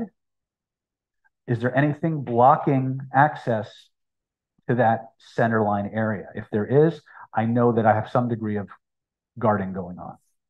Okay. If their hands are up or their, their, their hands are up this way, this is also a warding off gesture. Even though they're showing you their palms, which many people consider to be a, uh, a sign of attraction, showing the palm for attraction is more this rather than this. So palm showing, depending on, on the position, combined with a, vent, a, a postural shift or a ventral orientation, these are all things that can signal lack of comfort. Now, a lot of times they'll be very subtle. A lot of times it'll just be this, right? Or this, right? They'll they'll find subtle ways, or maybe they'll cross or, or blade up. Anything, any any movement that way can signal some level of discomfort. Also, look at their pupils. The more the more interested in you and aroused a person is, the more their pupils will dilate. The, the more guarded they are, the more they'll shrink. Okay. So we one particular trait by itself doesn't mean anything, but when you start seeing them showing up in twos and threes, the problem with, with most interactions is guys are so focused on trying to impress the person, they're not paying attention to the subtle body language cues that are happening during the interaction. One of the things we're going to play with towards the end of tonight is what we call the mating dance, which is the five to seven stages of attraction going from stranger to intimacy, where it's time to, to find a place to be more private. Okay. But there's so many, the problem with body language training is that there's so many variations that just memorizing them is a major feat. But if you if you if you distill everything down to heuristics, if the per, if, if a person is um, this is another person, if they're facing me directly, if, if, if there's no obstruction, This is somebody who feels comfortable. But the more I, I create blocks or, or barriers to this area, the more uncomfortable or guarded I'm becoming. The, the, pupils are a good, a, a good uh, indicator of how much processing a person is doing. So the more they're thinking and, and filtering their responses, filtering what you're saying, the more their eyelids are going to get slitted, the more uh, pinpoint their pupils are going to be. So those are the things I look for. Hands, feet. If they're looking, if, if from the waist up, they're pointed at you, but from the feet down, they're like this or like this, the feet don't lie. Okay. Uh, most people can lie with their face unless they're dealing with someone who's super trained because we spend more time practicing this. Most of us don't work on our feet. And so our feet will tell us if we're towards or away from. Next. I want to thank you guys for hanging out. I know I was spending a lot of time uh, with my live my live folks, and the reason is I play favorites. The these people drove across town to be here, and and so I give them as much of my attention as I can. I love you guys, but you're not here. And uh, follow-up question there. I don't want the conversation to be episodic, but I want to make her feel wanting more and more. What should I do? Okay, use the echo technique, use the three magic questions protocol. Always leave the conversation on a high note. Be the first one to leave the conversation. Don't when you when you exit a conversation, when you exit an interaction, don't be like a don't be like a dimmer switch where it just fades off and you just kind of and you just cut it at a high point. Always leave them wanting more right? You've all had this experience. You've ever been on the phone with somebody and um, maybe you say something like, you know, I got to leave in a few minutes to say, okay, bye. And all of a sudden they just, they're just gone instantly. And it's like almost, it's like almost like they suck the air out of your lungs because they, they, they left so fast. That's the energy that, that creates scarcity, that leaves them wanting more. Always leave them on a high note. When they start to hint it's time to go, be the first one to, to end the conversation and end it not like an asshole or not meanly, but start it suddenly. That creates a kind of of, of, of scarcity impression um, that makes them want to interact more. They'll start wondering, why do you hang up so fast? And they'll be spinning. Right. And it's very difficult to do three MQs when a woman doesn't have much time to talk. Yeah. I do my best to extend the conversation by five to 10 minutes, but she leaves. What in these time constraint scenarios, what should I do? Acknowledge that it's a time constraint. Okay. Here's the thing. When you use these these these principles on people, they're going to want to spend time. But if you're doing it in a place where they have to be somewhere and do something, one of the worst places you can do this is when they're on their way to the restroom. Now you laugh, but people do that. Right? you have to think about your environment. You have to think about the context in which you're interacting. If you know that that person has a limited amount of time, acknowledge that. Right? Set, set it up through your conversation, through your body language, that it's going to be a short interaction. Deploy as much of the technique as you can and prime them. When's a good time to pick this up? Set a time, set a date, and if they show, pick up where you left off. Be respect. I, I, when I was telling my, my, my attendees here, when you go and you use the echo technique with people, right? Especially like on servers and bartenders, you're going to get amazing service. You're probably going to get free stuff. The problem is, is that you could get them in trouble because they want so much to spend time with you that they're ignoring everybody else. Right? If you've got a, a waiter or a waitress or, or somebody who's got to be somewhere and it's important to them, you're creating a conflict in them. And it's a values conflict. Okay. And if you're and if you're not as high on their value tree as where they're going, they're going to leave you like like gangbusters. Okay. So be very aware of your environment, be very aware of the context. If you know there's a time constraint, work within it and set up a meeting or set up a continuation later. Um, Okay. Celeste says, men often start talking to me when I'm walking down the street. Mm-hmm. And I don't know how long to stand there and talk to them before I go. Not sure if they're planning on asking me out or just being friendly. Mm-hmm. Okay. So establish for yourself an arbitrary time limit, just a standard time limit. Say, someone stops you on the street, say, "Hey, I'd love to talk. I've, I've got about two minutes. What's what's on your mind?" Now the onus is on them to get to the point. And if you're not being rude, you say, "Hey, I really got to be somewhere. I've got about three minutes. So yeah, what what can I do for you?" Right.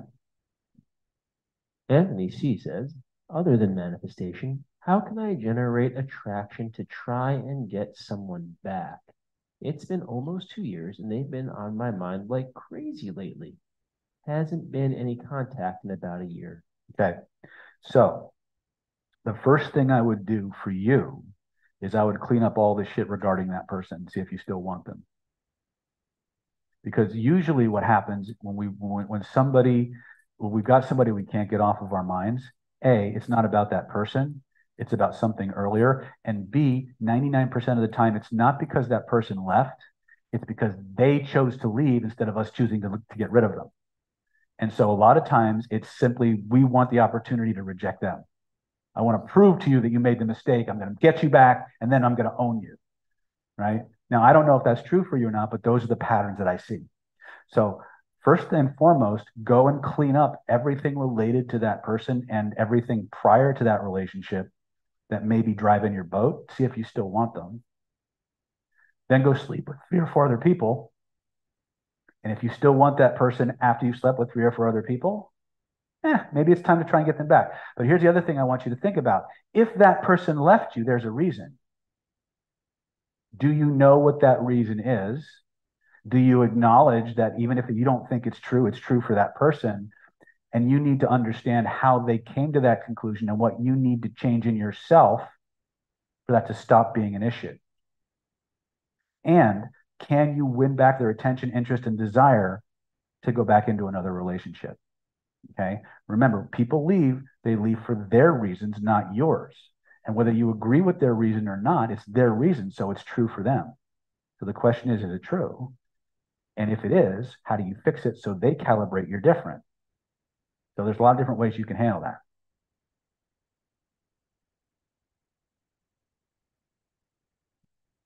Liam asks, um, it's so easy to pick up, quotes, women. I don't know how I don't think about it when I talk to women. Maybe that's it. And then probably, yeah. Um, let's see here. Uh, we've also had uh, someone asking a whole lot about whether or not the Black Friday deals apply to CPI too. He's asked a few times. So it's now gone into the public chat, and I figure I'll just voice the question. Uh, if it's in the if it's in the uh, if it's in the if it's in the store, yeah. If it's not in the store, then you have to call the office and deal with Moss. All right, there is your answer, sir. All right. Um, the thing that occurred to me that I think you pointed at before, but um, didn't mention uh, directly when it comes to guarding, like mm-hmm. sometimes people position objects between them yes. the table, things like that. We'll talk about that a little bit more when we get to the mating dance. Right on. Yeah. All right. Uh, Zoomers and uh, Nigel, who was asking about the uh, CPI two, says thank you. Mm-hmm. Um, let's see here. Anthony C says, "LOL." David always hits the nail on the head. I was there with her when my mom died, so that could be a big factor in my attachment for sure. Thank you. Mm-hmm.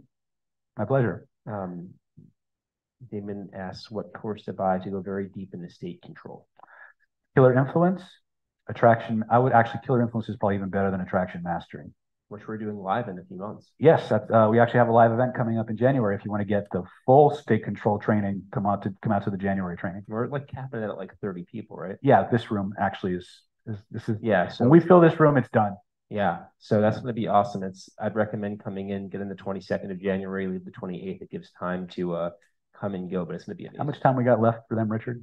Five minutes. Okay. What else you got, guys? Come on, you guys having fun? Are you enjoying the show?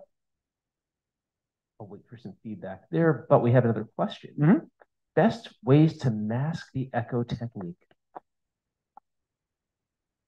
Best ways to mask the echo technique: change your tonality, change your speed, change your volume turn statements into questions and questions into statements. Um, when they speak a lot, focus on the first thing they said and the last. Um, these are all way again. What what what counts with the echo technique is the words. Not again. If you, this were an NLP class, Richard, you know, Richard's not dead, and hopefully he'll be around for a long time. But if Richard or or, or uh, John Grinder heard me say what I'm about to say, they'd be spinning in their not graves. I don't care about their volume. I don't care about their tonality. I don't care about the tempo. I don't care about uh, pitch. I don't care about any of the paralanguage that they're speaking. What I care about is the exact words they use in the order and sequence that they use them. Whether I deliver those words with a question, a command, a statement, or in fragments, it doesn't matter. What matters is they're getting their very own words back. And the more varied ways they get their own words back, the more organic the conversation appears to be. And it is. But you don't, but it, it, it allows you to not have to be creative and come up with clever things to say. All right, now we have, hi doctor, I just want to say that I use the echo technique over a text with a girl whom I saw in public. Mhm. Didn't even use it in person as I was in a rush. In five days, she fell in love with me and we're together for a month. Thank you so much, doctor. You're amazing. You're welcome. You're welcome. And again, you don't have, that's the beautiful thing about the technologies we teach in Planet David. I learned a long time ago that I want to focus on things that are, that work, whether I believe in them or not. Now, if you believe in them, great. But if we can distill things down to a simple set of mechanical processes that we can just deploy and calibrate results, that's going to give us fuel and motivation and feedback that we can use and become more effective. Right. The code behind the, everything in Planet David is transformation and solving the problems that life gives us with powerful, easy, simple to apply solutions that are also fun. So I'm glad when I hear people using the echo technique and getting really good results right? I my belief has always been that the more advanced the technology is, the easier it should be to use. That is not how a lot of my my brothers and sisters in the classical traditional NLP and communication worlds tend to think. They tend to think in more complicated, eloquent, articulate terms. Um, and to me, that just that tends to make our languaging more specialized, but not universal. So I'm glad when I hear people using these things and getting getting such good results. It just gets better. The more you play with it, the, the more powerful you become. Got two more questions here. Jax says, David, every time I talk to guys, I go into immediate chuck. How can I stop this? I don't know what chuck means. What does chuck mean? Yeah. You mean a choke? I'm guessing that's what she means. Okay. Chuck So what's happening is A, you've got some memories from earlier interactions that you're accessing. And so those feelings are infecting your interaction. Just like I talk about the guy who's about to approach somebody who's attractive and they're running all the crappy movies in their head about when they got rejected. Same thing's happening with you. So the best thing that you can do is go in, clean up those memories, vent the emotional charges, and rehearse a different way of approaching. Start by controlling your physiology, get your body feelings right, learn a basic template, and just play and, and chunk the pieces of the template down. We'll talk about, we're going to talk about when we come back, we're going to talk about uh, positive eye contact, we're going to talk about the mating dance, um, and finally the three magic questions level three.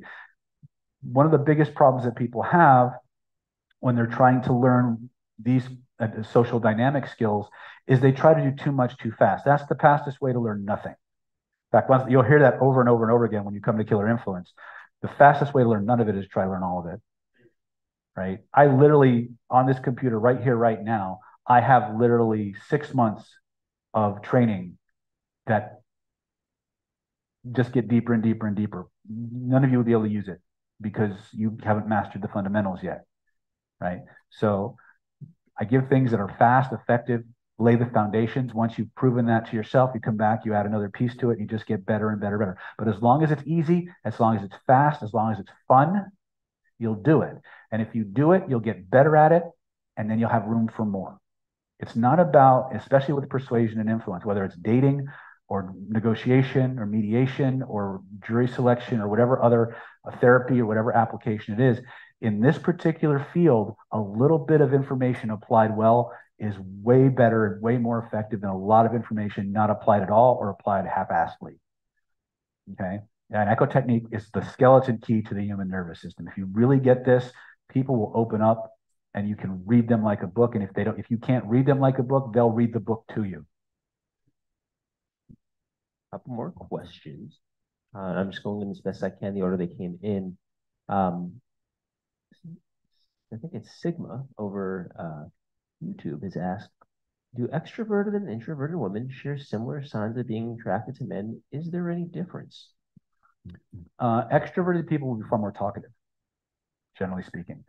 Um, introverts, by their very nature, tend to think more about what they say before they say it. Okay, so their body language may not be as large. One of the things I do have, to, I, I, I do want to caution you guys about. A lot of us are shy or have some level of of social anxiety. First of all, understand something. Social anxiety is actually a human thing. It's not something that makes you broken. Every human being has this stranger approach mechanism that signals a little bit of stress when somebody approaches. That doesn't mean you have a phobia. It means you're human. But the meaning you assign to those feelings will determine the frame you wrap around it, which will determine the behaviors that arise from it.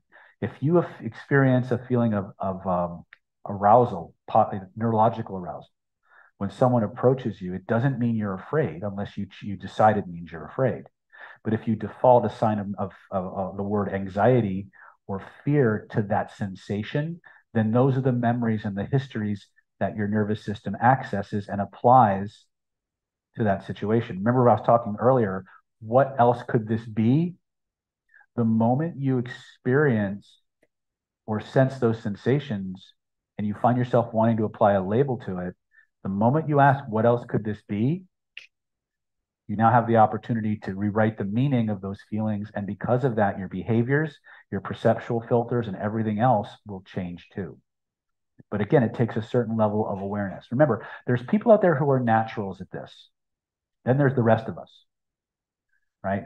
We have to train, we have to practice, right? And there's a learning curve. But if you never learn any of it, you never you can never go through that curve. So come on in, don't be bashful. All right. I'll be uh, curious to find out what this was like for you guys. Did we did we lose Cynthia? okay. All right. Sometimes they run screaming. Yeah. Yes. I have a couple more questions that are there.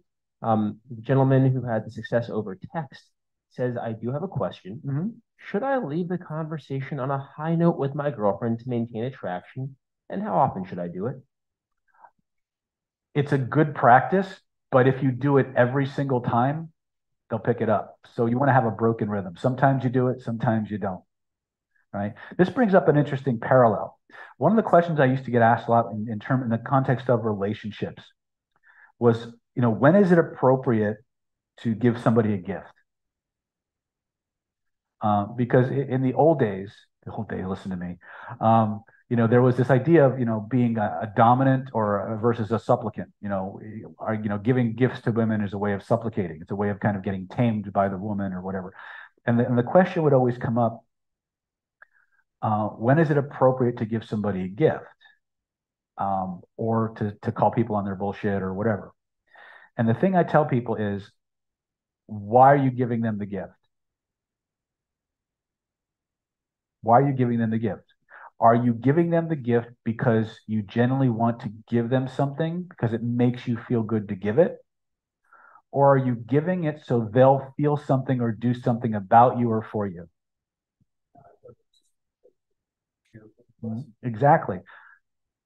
But I guarantee you there's been other times where you're giving a gift because it's their birthday and it's expected. Right? It's a it's a holiday. You're you're doing it because it's obligational. It's expected of you. Here's the the paradox of relationships. The relationship that's predictable becomes boring. The relationship that becomes boring causes the partner to lose respect. When the partner loses respect, it's only a matter of time before they're rocking the Ramada with somebody else. Okay. So the idea is the, the emotional ups and downs, the little flirting and playfulness, all of those things that got you into the relationship in the first place, you need to keep doing those. 20, 30 years, and that spark will still be there. Now you'll still you'll grow together and you'll mellow in certain areas, but it's that up and down, the give and take, right? The problem that we have, and again, we're kind of lapsing into relationship stuff now, but one of the problems that we have is what one of my more infamous mentors used to call pathological trance states. You're all programmed with a certain set of identities that go off at certain points in your life. When you meet somebody and you're dating, there's a certain identity. You're the romantic or hero or heroine. You're going on romantic adventures together. You're doing fun and exciting things. And then as you go through that relationship, now you get into the boyfriend girlfriend stage or the fiance stage, and relationships change. Right now, there's a commitment, and now there's all these other things, and you're planning a future together. And but it's still fun. It's exciting. It's new. It's that honeymoon period. No pun intended. Then you get married, and then you go through the honey, the real honeymoon period, right? the first or two or three years, and then junior comes along. And all of a sudden, new identity role, mother, new identity role, provider, father, right? Then soccer mom, PTA mom, career mom, this mom, that mom. By the time you're down here, you've got 27 different identities and the one you've never, you've locked in a little box and kept away was the romantic heroine, the one wanting the adventures, the one wanting to lasso the moon and pull it down. You know, you ever watched uh, that uh, Jimmy Stewart movie, Jimmy Stewart? You know, you know, I'm talking about the, I'm gonna pull down the moon for you. No, I don't. Yes. I was just thinking about. It's on. Um, my last almost boyfriend. almost boyfriend. He he saw me every day and he gave me presents every day. That's great. 18 roses, cowboy boots. And I just ran with it and I didn't worry about why. Mm-hmm. I was just happy. Yeah. So is that okay? We can just Yeah, it's fine. If someone's gonna give you gifts and they're gonna give you a lot of gifts, you might want to start thinking about what's the agenda. Right? The other thing you want to think about, and this is something that a lot of people don't really think about unless their relationship's in trouble. But if you think about things I'm about to talk about before you interact, it makes mate selection or partner selection a lot easier. What is your attachment style? What is your attachment style? What is your love language? Guess who you're going to be most compatible with? Person with the same love language, same attachment style.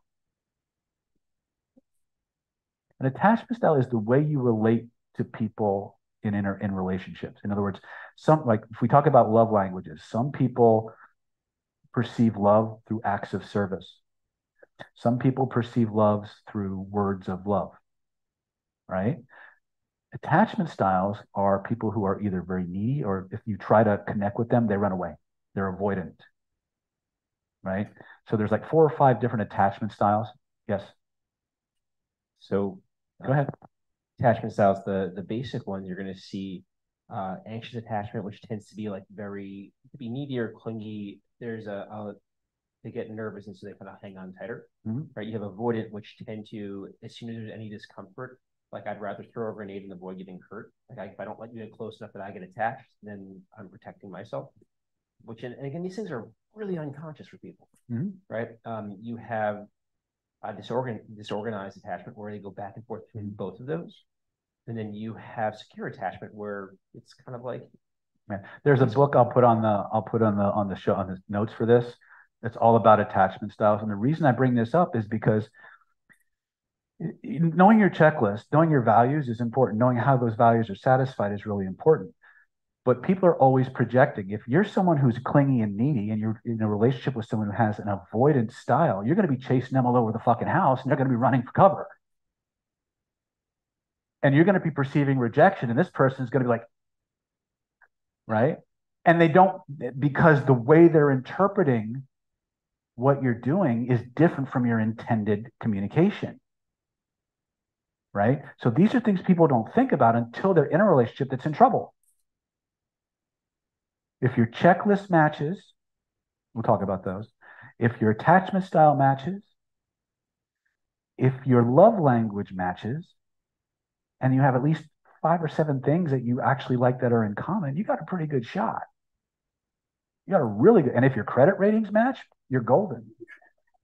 You laugh. In some of my research, the longest, most successful relationships had people with the same credit ratings and political affiliations. Yeah, it's just weird shit that you wouldn't think has a correlation. But if you think about it, a person's credit rating is a sign of their dependability. their trustworthiness, the consistency. Isn't that what we want in a relationship? Check in the boxes, baby. Right? You notice how so much of what we're doing is about profiling the other person? But you see, we the profiling doesn't help us if we don't know what to compare it with, which is you. How well do you know you? And if your answer to that question is I'll know it when I see it, oh, wrong. As so many people in Soulmate Secrets discovered, right? Because there's questions, there's like we we have a whole like lists of questions to elicit very, very deep levels of checklists in terms of your life values and everything else. So now you know it. Now you can recognize it. And it's like, holy shit, Batman. Now you weren't there for this, but in the last coaching session uh, that I taught, I have a weekly coaching program. I actually did uh, uh, something called the Life Mission Questionnaire. And it's basically four questions and then a, a mission statement for your life. And one of the guys was a, a ex medical doctor who's working in biotech. And when he answered those questions, he realized that everything about his life was wrong.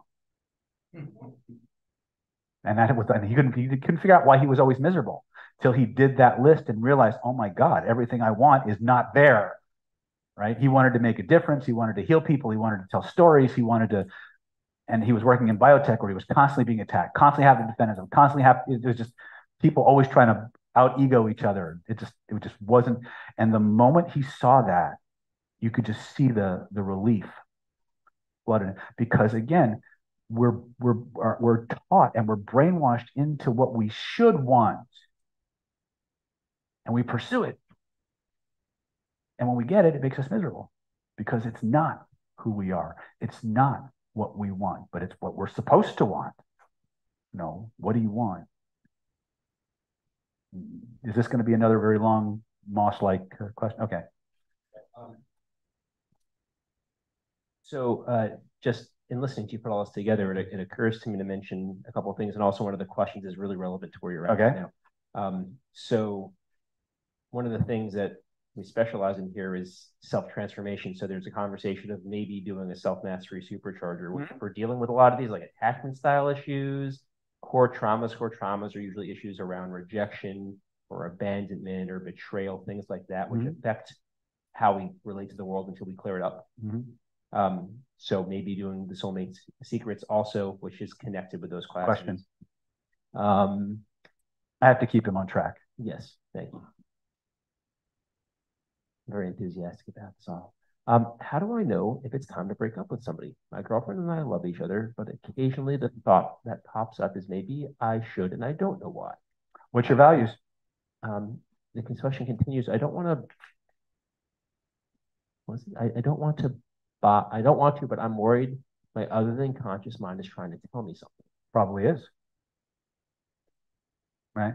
What are your values? What are your boundaries? Is this person satisfying them or violating them? It's a very simple question once you know what makes you happy. And when you express what makes you happy, does the person give you what you need the way you need it? If the answer isn't more than 80% of the time, you should probably consider your options. Okay, let's get back to debriefing our folks. What did you think of the 3MQ process? Was it cool? Was it easy? Good. Good. it was good. I, went through that. Mm-hmm. But uh, no, it's good. We, we practice and you can improve. Uh, when you were the, the C person managing, how hard was it to get them to shut up? you couldn't get you couldn't get each other out of the conversations, could you? They kept going, right? That's the point, right? But I also use it to talk to let them know if you're doing it right. Yes, perfect. So you, you notice how they keep spewing, it's because you're connecting. Yeah, that's the that's the thing. It take this this particular process takes so much heat off you to be a great conversationalist. If you just echo their words and even do a, a, a kindergarten level free magic questions, they will come away from that interaction thinking you are the most fascinating conversationalist they've ever met because they got to talk about their favorite subject. Themselves.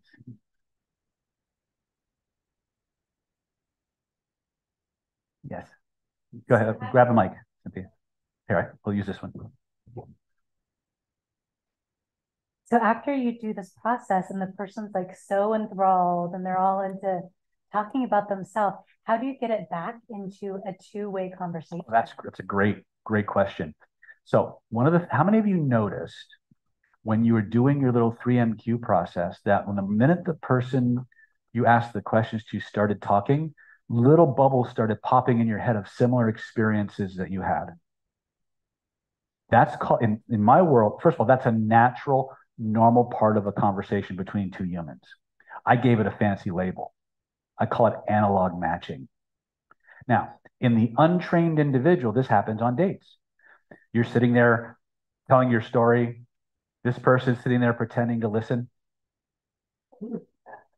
Because what are they really doing? You said something, it sparked a memory, and they're waiting for you to shut up so they can tell their story. You've heard people parroting this. You've probably done it a few times, right? That's going to happen.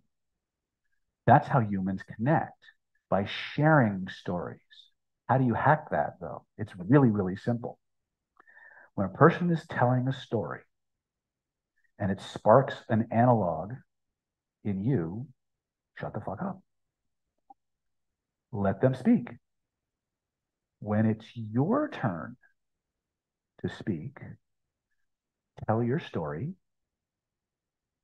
shorter, but use their words to tell your story. That cements the experience inside. Okay. The fact that you use their words to tell your story means that it's going to match their internal experience. It's going to trigger all the same feelings. And even though they might be already primed to see the similarities, now they can't not. They can't not process the similarities. And then you boomerang them. You ask them another question that gets them talking again. So you say, I was like, yeah, I went to this, I went with my friend to this, uh, we went to Fiji this one time. And while we were there, we realized that we wound up, we, we didn't know where we were going. And all of a sudden we wound up on this topless beach. And I'm, you know, I think I'm pretty liberal. And then I see all these topless people walking around, or sometimes bottomless, because they were a little bit more liberal than me. And I'm like, Ooh! and inside your head, you're going, fuck, how do I match that? right? right? But, or, but you know what? I understand that. I'm once, you know, one time I was when I was living in Oklahoma, my friend said, "Hey, I got this party. I was, I, there's this party I want us to go to," and I was like, "Okay." And I walk in and I realize it's a swingers party, and I'm like, "Oh!" The next thing I know, my my my girlfriend's my, my friend's girlfriend has got his her tongue down some other guy's throat, and then clothes are flying out. I'm like, Ugh! right? So I don't know if I got all the words, but right? I thought I was pretty liberal, but I found out I wasn't that liberal, right? So, so has that? Have you ever had anything like weird like that happen to you? Yeah, and now this is how it works. So the secret to this is it's okay to speak. It's okay to tell stories. Just be brief. Now, in lieu of being too brief, the more descriptive you become, the more compelling you become as well. But the best words that you can use are theirs. And you just boomerang, you just ask another question and you're back to the same process. And you guys can, you can, the, the, the protocol was designed to be, to take you from stranger to intimacy in as little as 20 minutes. Do you, do you have to do it in 20 minutes? No, you can take hours. You can take days if you want. You can spend days at this. You can do this with people you've known 50 years, which would be hard for me because that make me seven right? But, but the point is, is that it doesn't matter what stage of relationship you're at. People don't change. Technology changes. How people use their technology changes. But the the programs that run that that keep us operating, interacting, they don't change. So this stuff is going to be relevant for centuries, right? Until we start implanting cybernetic organisms in our head and shit like, oh God, no, right? So the idea here is location, occasion, early positive, I'm sorry, um, career passions and pleasures, analog matching, use their words to tell your stories, ask another question, just wash, rinse, repeat. Now, as they start telling you things about their careers, their career aspirations, everyone you meet is going to have an idea for a book or a business. Now, why is this? Why is career questions so powerful? It's because in your neurology, you have beliefs. And those beliefs come in a hierarchy. You guys having fun? Okay.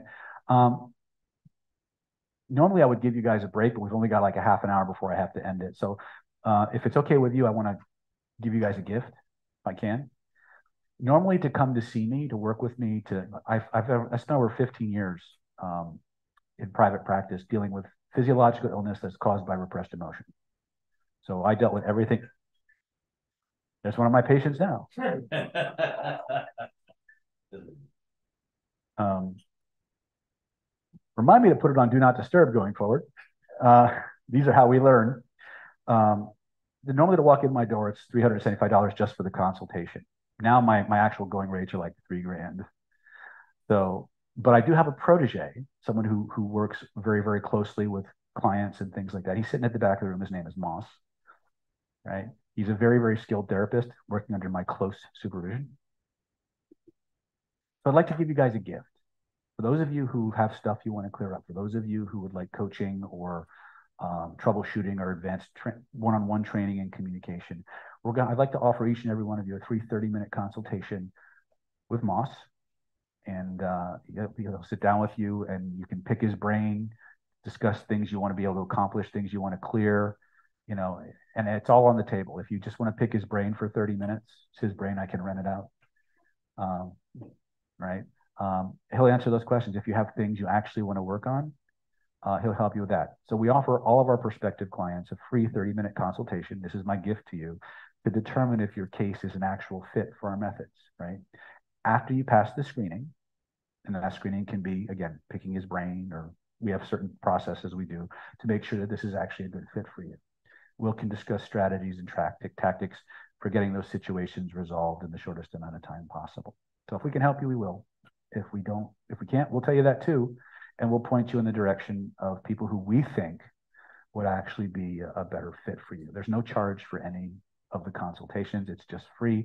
Just see Moss and he'll get you scheduled. Um, and again, if you just want to ask questions for those 30 minutes, if you have actual things you want to work on, uh, I've seen Moss deal with some pretty heinous stuff. I've, I've thrown him in the shit pretty much from the day he walked in to train with me. So there's only a handful of people that I actually uh, trust to work with my clients. And if there's something that comes up that Moss is saying is that's a David job, guess who you get to work with, right? So again, it's free. Um, if you're interested, just go see Moss, you know, at the end of class or whatever. Um, okay, that's done. Now, what was I talking about before I got interrupted? Oh, career, passion, pleasure. Your belief systems have a hierarchy. At the top of the pyramid is what we call spiritual beliefs. These are these are beliefs about your mission in this life, who you are. Right below that is your identity. Right below that are your values, the checklist. That's it. So it goes from environment to capabilities to behaviors to um, deservingness, I think is one of them, and then values, um, identity. You know, the reason that uh, questions regarding or, or stories about career are so powerful is because in most countries, in most cultures, you are what you do. In other words, if I ask, uh, uh, if someone were to ask me, David, what do you do for a living? I'd say, I'm a neurolinguistic programmer. I am a Qigong master. I am a hypnotherapist. I am, I am, I am, right? That those two words keep coming up in everything. anytime you hear anything prefer, uh, preceded by the I am phrase, what you're hearing is an identity statement which means that if I'm an accountant, then at the apex of that pyramid, right below spiritual mission, are the highest, most powerful beliefs that I have. So when people start talking about their ideas for a career or a book or a business or what they do for a living, they're communicating with you from an identity level. Those phrases and that content has the most power just short of spiritual transformation they can't resist those beliefs. They don't want to because it's them, right? And when they start talking about their career or their passions, they're gonna they they can talk to you in terms of possibilities or limitations. So if you ask somebody, so you're an accountant? Wow, man, I've, I've never been really good with numbers. I always wondered how people fall in love. Did you just come out of the womb and say, numbers are my jam? Is there an origin story there? What's behind that? And they might say something like, well, you know, I've always just had a knack for numbers. My mom and my dad were both accountants. We used to play word games all the time. It was just something we all bonded over. I just love numbers. It's just very clean. It's very easy and and you know I can see when I you know when I finish college and I get I'm going to get my own firm and I'm going to have all that. Now, what do you know about this person right away besides the fact that they're good with numbers? Do they see life through the sense of possibility and deservingness or entitlement? Ah, contrast that with well, my mom and dad are accountants. I got I'm pretty decent with numbers and just seem like the natural things that when mom and dad retire, I'll inherit the business and I'll just keep it going and you know, I don't like the way they do a lot of things now, but you know, uh, once it's mine, I'll take it over. I'll move out of the basement and get out of rehab and and and things will be great, right? Now, here's what's funny. You laugh because of the, the obvious dissimilarity. They will be just as happy telling you the second story as they will the first one. You know why? Because you've made them feel validated and safe to talk to you. So they they're getting deeper into attraction, connection, rapport. You're going, fuck no. Right? Do you do you, do, you do the fuck no face? No, you say, oh, that's very interesting, right? Again, be respectful because you've made these people vulnerable. Right? You've created an attraction in them, even though you're checking them off. They've opened themselves up. And the other beautiful part about this particular process is because of that enhanced level of rapport, that deep level of connection and openness, it becomes increasingly harder to make shit up.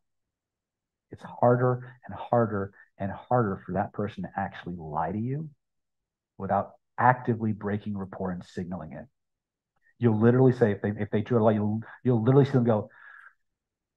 You'll you'll you'll feel it snap right? This is this is so powerful that my friend Chase Hughes, who's like the leading expert in be in mind control and, and inter- actually uses this in interrogation when he interrogates people because it it just it just harder and harder for them to not tell the truth because they want to because they they feel heard they feel safe a sociopath's a little bit different but there's other tells you have to look for with a sociopath, but hopefully you've, you've screened them a little bit before you've gotten into that. But here's the thing. Uh, if you take the time to profile them, actually, when you come to Defense Against the Dark Arts, I'll show you ways to do that. There's a whole system called FLAGs, Focus Lifestyle Association Groups. You can uh, do whole kinds of homework before you get to them. Uh, in Defense Against the Dark Arts, which was the number one NLP training program of 2022 and 2023. It's all about how to find these people and deal with them. Um, there's like 21 different red flags that come up in conversations that they use. It's, it's, it's really in depth, but you have to decide you want to go there because that's a, even though it's a cool course, it's a little heavy, right? So I have, I try to make it light, but it's, you're dealing with some heavy duty topics. Okay. So let's talk about level three questions. You never go to level three questions unless you're, this person has checked enough boxes that you feel safe having them to be an intimate part of your life. If you go to level three questions and and you haven't done this homework, you may wind up with a stalker. If this person is even remotely borderline, you're going to have problems. Now, level three is early positive childhood experiences. You're still using the master echo sequence, which is ask your question, validate, echo, ask again. Okay. Uh, we didn't talk about softeners because right now there's too many things to juggle already. We'll talk about softeners at, at the next training. Why do we want to use early positive childhood experiences? One of the things you'll learn as you get deeper into the concept of hypnosis and therapy and things like that is that the earlier the memory, the more foundational to a person's identity and belief systems you get. The most powerful memories that you have happen between zero and five. 99.99 times out of 100, when I regress somebody to deal with a trauma, it's zero to five. Even though the, the, the thing they, they're trying to fix happened when they were 33, you go, go back to the very first scene, situation, or event that is the source, the beginning, the root of that problem. They're five years old. They're four years old. They're in the womb, right? And something's happening, and that was the hook In this context, how many of you have ever met somebody and even though you're just lay eyes on them for the first time, it's like you just instantly know this person. Like all of a sudden, even though you've only been talking for 10, 15, 20 minutes, it's like you've known this person your entire life. And everything just bonds from there. You know this person is going to be a very important person going forward because it feels like they've always been there.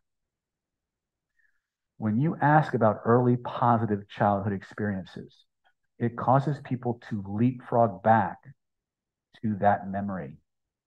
They open that file and play the movie. With that comes the sense of time, the positive feelings, and the mindset of the child.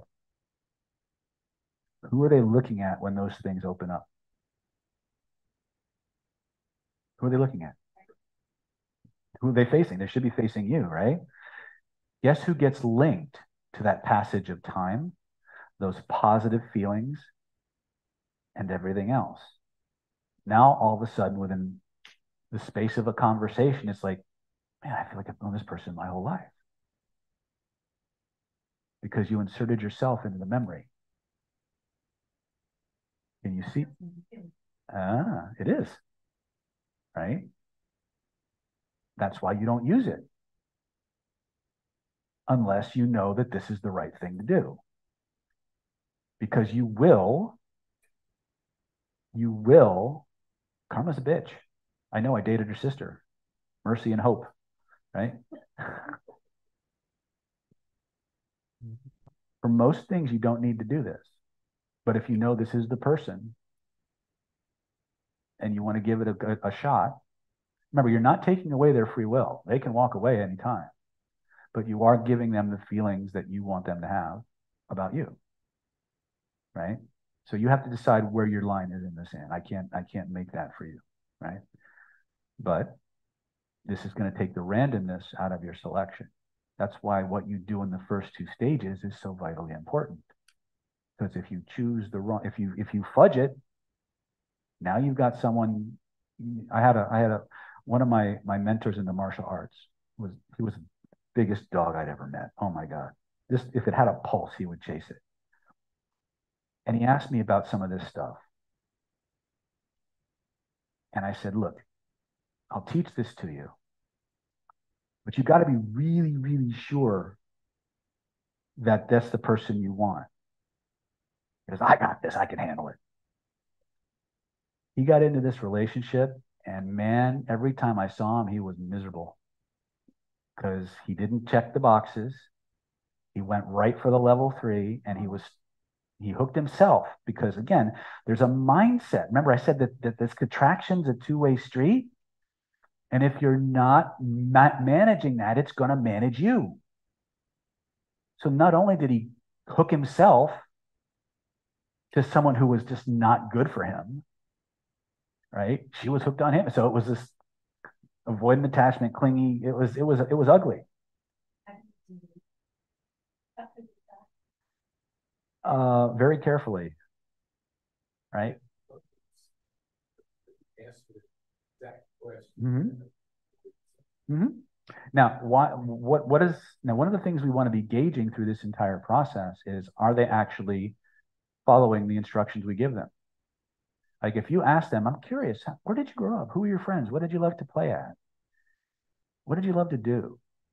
And they start talking about how Uncle Ted used to take him out back behind the barn and show him a special kind of wrestling. Or they start talking about how they were abused as a child or how they were bounced from foster home to foster home. What should that tell you? Change the conversation? Are you checking the boxes or not? Right? Because if they're willing to divulge those things at that level, you were destined to become their therapist.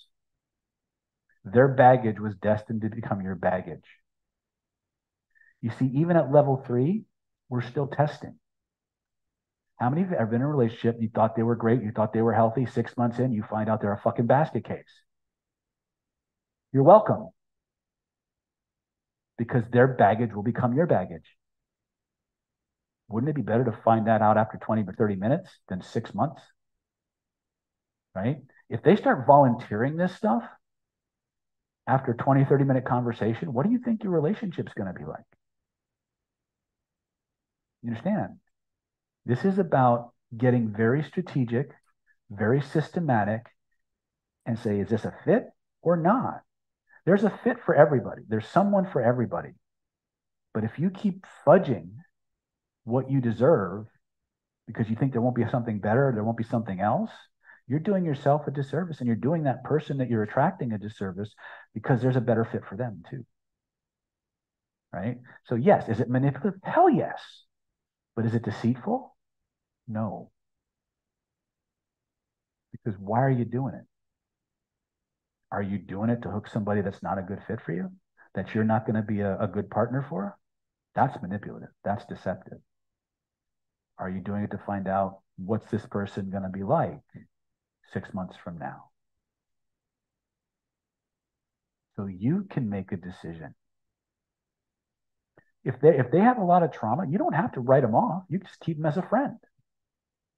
It's instead of saying, you know, you, you, you can start to develop all of these different levels, right? You can have an intimate partner, a life mate. You can have a friend with benefits. You can have a bestie. You can have an, an inner circle of friends. You can have, you know, extended friends. You can have acquaintances. You can have the, you know, people you're neutral about. You can have hell knows. You can slot them anywhere you want, right? I draw the line at deception. I draw the line at removing people's choice. Like, for example, there's one system out there that specializes in what we call confusion inductions. You walk up to somebody, you slam them with a confusion statement, and then hammer them with all kinds of suggestions so you get free coffees and stuff like that. Oh, yeah, it works, works really well. Some of you like, ooh, I just found my next gift card for Starbucks. Anyway, um, but is that a win win? You know, you got your free coffee, but you just got them fired. Right? To me, that's that's that's not cool.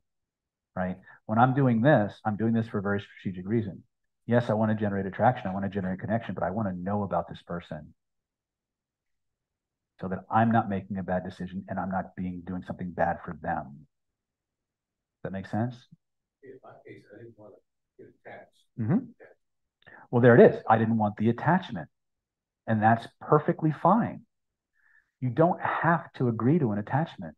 You don't have to, just because somebody likes you doesn't mean you have to do the full Monty, right? But a lot of us work that way. We're so desperate to be approved and validated that we think that because someone likes us, we have to like them back in that way.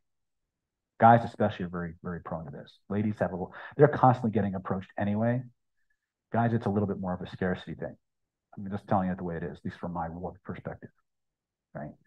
Um, questions about that? Yes. So then how do you get to that third level question where you balance? Because you don't want to get hooked with somebody what happened during the first two levels? Did they match your checklist? Okay. Then take your time, ask them about early positive childhood experiences. What do they tell you? What do they say to you? Let's say they say that they start talking about heavy, you know, childhood abuse or trauma. Um, so that happens because you're saying be careful with the mm-hmm. question because you could get hooked. Mm-hmm right? What kind of relationship do you want? Exactly. They may be great people, but because of their damage, because of their baggage, your relationship will start out romantic and become therapeutic. Better to find that out right at the beginning and manage it have it hit you and blindside you. And a lot of us have been in that situation not once, but multiple times because we're on our best behavior at the initial stages of the relationship. And as we progress and we become comfortable, we feel safer and we become identified with the relationship, the demons come out. And we think we're the, we think because this person's demons are all like directed at us that we're the problem. It's not actually you.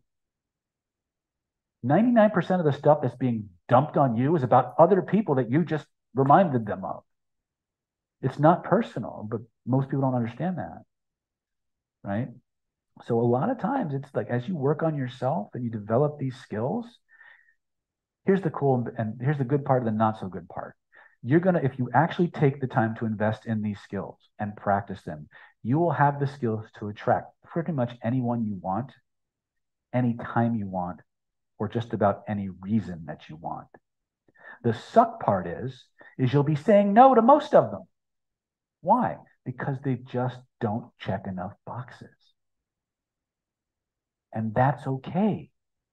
Because now you've taken the randomness out of your relationships.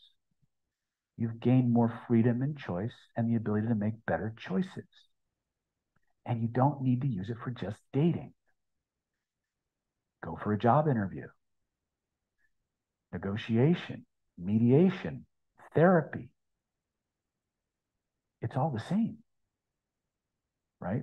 I have, I literally had a, a personal injury training. One of my good students, um, um, what the heck's his name now? I, I'm coming off like eight days of intense training and like I have like less than 12 hours or eight hours sleep. So, um, but uh, Chris Stombaugh, he inherited this case from a couple of his colleagues. They'd been working on this case for like three years. And in like 30 minutes, they got more information. He got more information out of the client who had brain damage than those other three people had in, in three years. And I've seen that happen over and over and over again because of the way these techniques affect the nervous system. Yes. Mm-hmm. Yeah, let's get a microphone. The ladies have them again. They do. They got to our page from your playbook, Moss. We used to tease Moss all the time because no matter where the microphone started, they would always end up in front of Moss. A quick question is, um, what, tell me what you think of this technique is that, um, who's dating this, uh, successful Mhm. lady that was, um, dermatologist. Mhm. And, and she was very pleasant, very cheerful. And I said, you know what, it just feels a little bit too cheerful, a little bit. too Toxic positivity. A little bit too cheerful, too friendly, a little bit too, Mhm. something, I think she's hiding something Mhm. underneath the personality. Yes. So I just threw out a question that I wanted to see the response. And it, it was gonna go either good or bad. Mhm. And it, it exposed how she really feels. And I said, there it is. So Mhm. I'm glad I found out now and not Yes. months or years later. Absolutely. And it, it just happened to be, yeah, she's a dermatologist. Mhm. So I just asked her about one little skin condition and she blew up. And I said, that's, you know, that's what I, I knew was hiding underneath. Yes. Follow your guts. You know, that's one of the, you know, uh, what Sifu Johnson likes to say. I've never heard anybody say, "I'm I'm really glad I didn't follow my gut." Right. Um, usually, your your autonomic nervous system, that more primitive primal part of your brain, is a little bit more tapped into unconscious tells. Unfortunately, the problem with unconscious tells is that they're unconscious, and so if we're consciously focused on something else, we usually miss it. So we need to we need to sync them up a little bit, and that's what this does. So let me give you a couple more things before I send you off into the into the ozone. You guys, is this useful? Has this been helpful? Okay. If you guys like this stuff, I invite you to check out our website, nlppower.com. You can Moss can give you the website and stuff. We have trainings coming up. I don't create meetups to, to fill trainings. I created meetups because I was bored, like to do cool stuff, and I wanted to meet cool people who like to do cool stuff. Yeah, there you go. See? So one of the things I want to want to talk about is called the mating dance, and I want to talk about what I call positive eye contact. When we start looking at behavioral cues, one of the things that we, we want to look for is what we call deviation from the baseline and clusters. So baseline is what's their norm? What are they normally like? Okay, yes. Uh, how long does it take to baseline? Depends. It really depends. The more time you can spend observing them, the better a baseline you can develop. Because I tend to be like, okay, um, I'll keep like the best baseline open until I know the person Mhm. like. You know what I mean? Mhm. Well, again, if I'm if I'm observing somebody from a distance, I'm going to look at how they're interacting right now, and I'm going to make that their baseline. Also, you do make like somewhat concrete decisions. Like Yeah, because if I'm observing something I'm about to approach, I need to know where they're at right then, right there. So as they deviate from it, right? Okay. So what is their norm? And then what we look for are what we call clusters. Clusters are data points, two or more. So for example, I, I showed you a cluster earlier uh, in regards to um, during the question that some of the Zoomers asked about when somebody's feeling uncomfortable. This, the area between your eyes down the center of your body is what we call your constructive center. This is where all your organs are. All of your organs lie in that space. This is by definition the most vulnerable part of your body. It's the place we're always primally predisposed to protect. So if I'm talking to Eduardo, right, and he makes me feel uncomfortable, now, I actually did two things here. I changed the orientation, but I put an arm between my baseline or my center line and him. That's a cluster, right? That would be something. So this is my norm. All of a sudden I said something I'm like, oh, let me think. Now it's a third one. I touched my I touched my face. Right? Again, we could spend days In fact, my, my, my, my colleague Chase created a whole behavioral table of the elements, which if you try to interpret that thing, your eyes will cross, right? I'm more of a heuristics guy, rules of thumb, like when I showed you, right? That's a continuum. Exactly. You can look at anybody's behavior, anybody's posture once you have that continuum and extrapolate where they're at. You don't need to know 67 variations. That's how I think. So clusters. One body language cluster that we want to master is called the positive eye contact cluster. Now that's my term for it. So there's three aspects to the positive eye contact cluster. A, eye contact. A smile, eyebrow flash. Okay, now we talk about the eye contact part. That's a genuine smile. You see the little wrinkles up here, right? When, when you have those little muscles crinkling up here, that's a legitimate smile, right? If you look at somebody smiling and they're dead from the nose up, that's not, that's a social smile. So as you're moving through the world, you want to make eye contact, smile, flash your eyebrows. See, he does the whole head, right? You must be from the East Coast. How do I know that? Because I grew up in Pennsylvania and I used to spend a lot of time on the Jersey Shore. And every now and then you'd be walking down the down the boardwalk. You see guys, hey, how you doing? Hey, how you doing? Instead of doing this, hey, the whole head goes, right? That's an East Coast thing, right? But the idea is the reason we, we focus in on, on the eyebrow flash is called a key stimulus. When mammals approach each other, if they want a single signal friend, it happens in a millisecond. Yes, every human being does it. Every mammal does it. Right down to little babies. Yeah, he'll tell you, right down to little babies. Okay.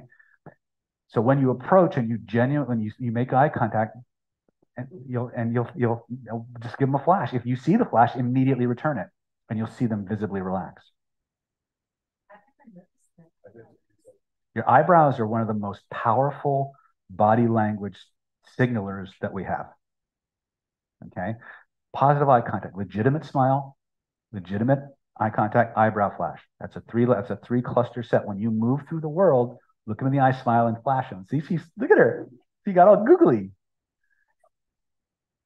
All right, all right. I look at. Hey, how you doing? hey, how you doing? look, she just gave it back, right? You see, you can't not do it, right? How you doing?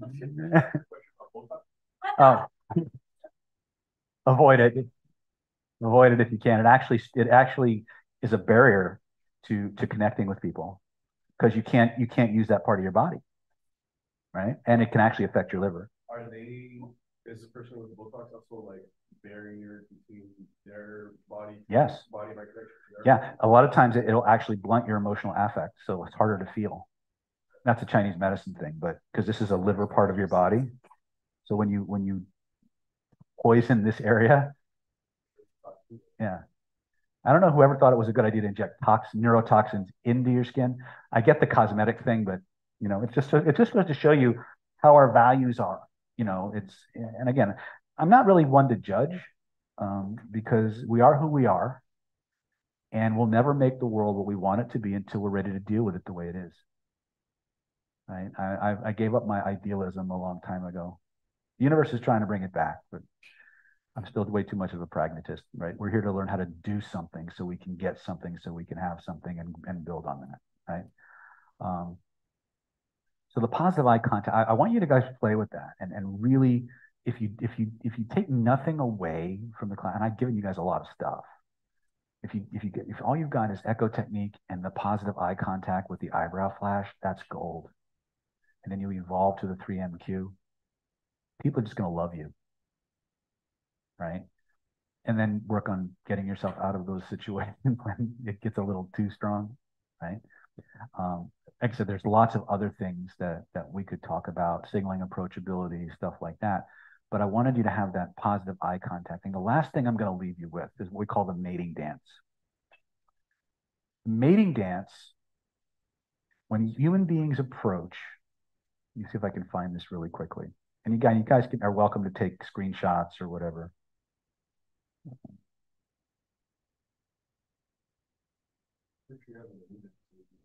Oh, I, I, I absolutely do have the, I do have it there. Um, but I wrote it down just so I could.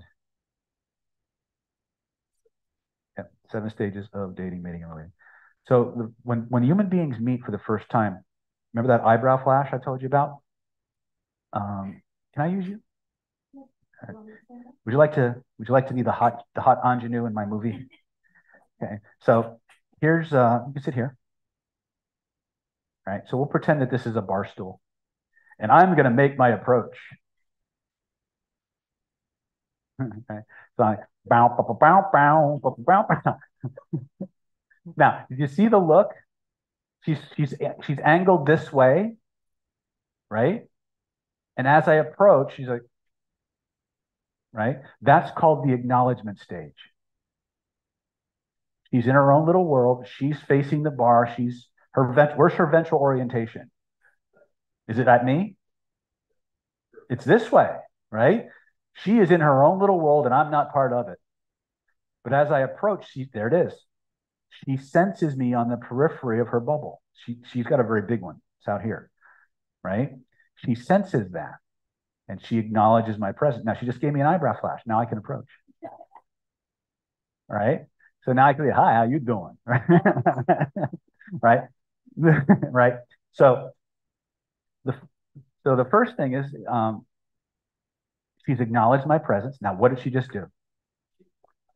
She just pivoted. That's called the pivot stage. He did it automatically. Yeah. Exactly. Does that mean she's attracted? No. Oh, nay, nay. but she is interested. She's curious. She's wondering what the hell I'm going to do. So you have the acknowledgement stage, the pivot stage. She's given me a little bit, her, her, her ventral orientation has moved a little bit towards me. The next will be the reaching stage. As we get deeper into the conversation, we don't have a table, but if you go to if you go to my YouTube channel, uh, type in mating dance, and a whole video will come up where you, you'll literally see me walking through this same demo with a table and stuff.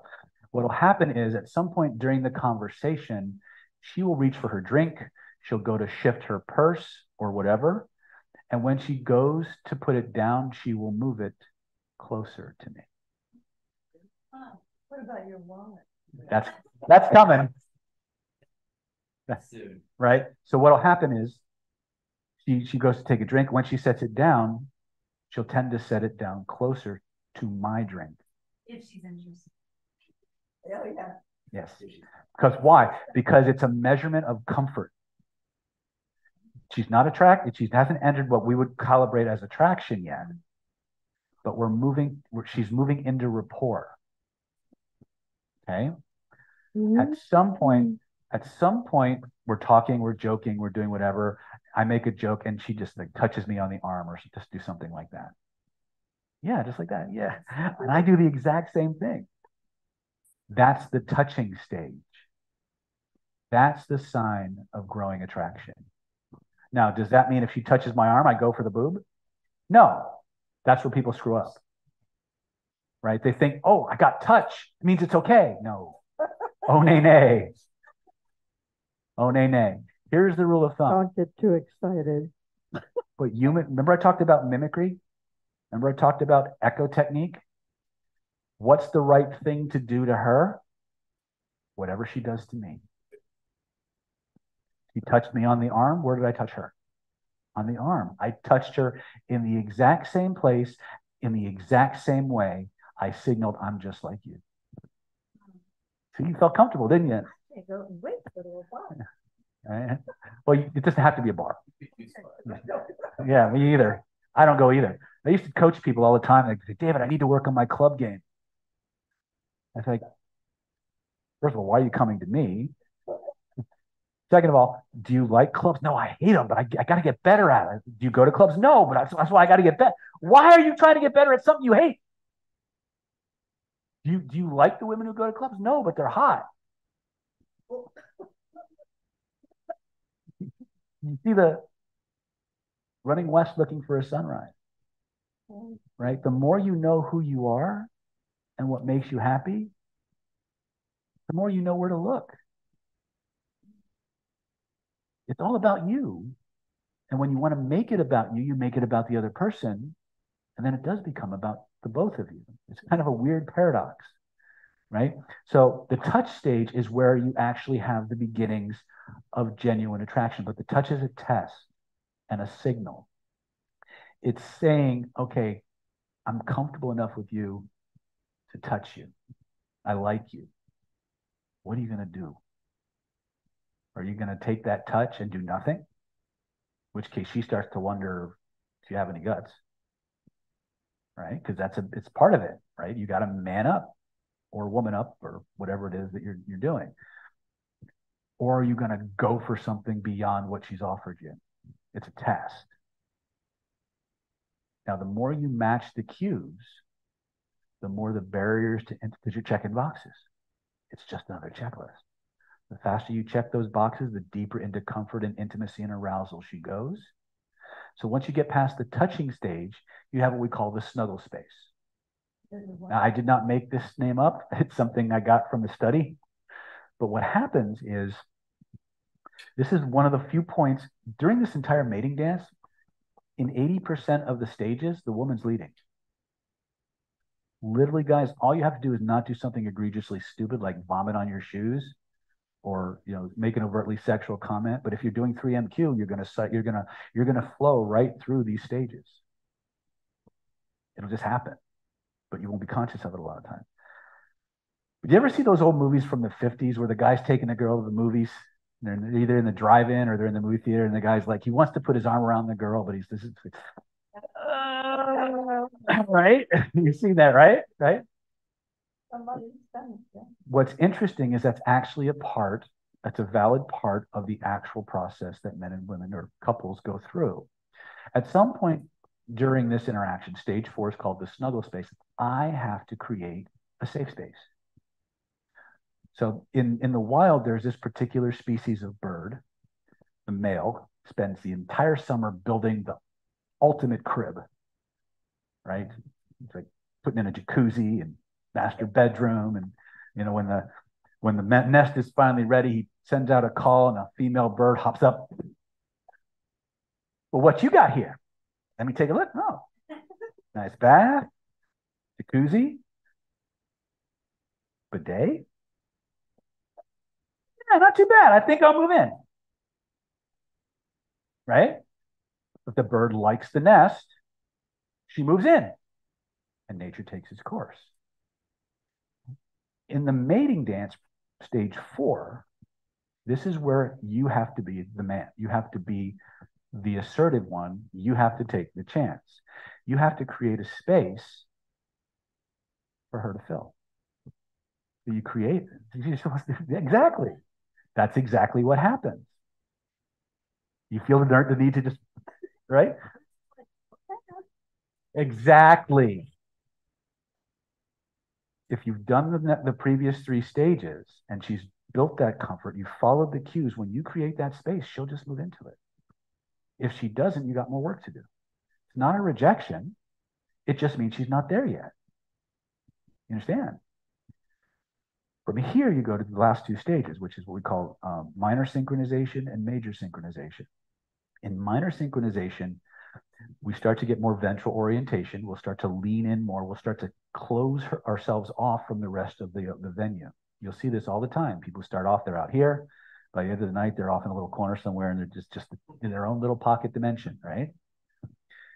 And what will happen is we'll start to get more ventrally oriented. So her, her center line will line up with mine. We won't do that here. But if I take a drink, she'll take a drink. She moves her napkin, I'll move my napkin.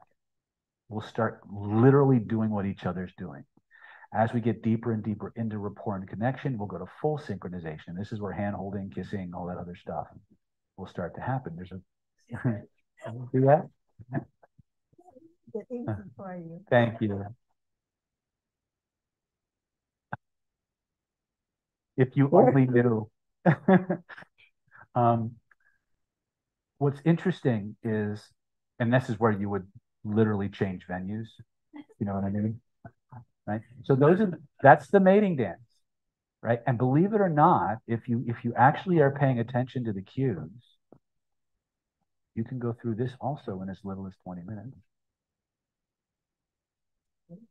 Well, again, who's who's doing it, right?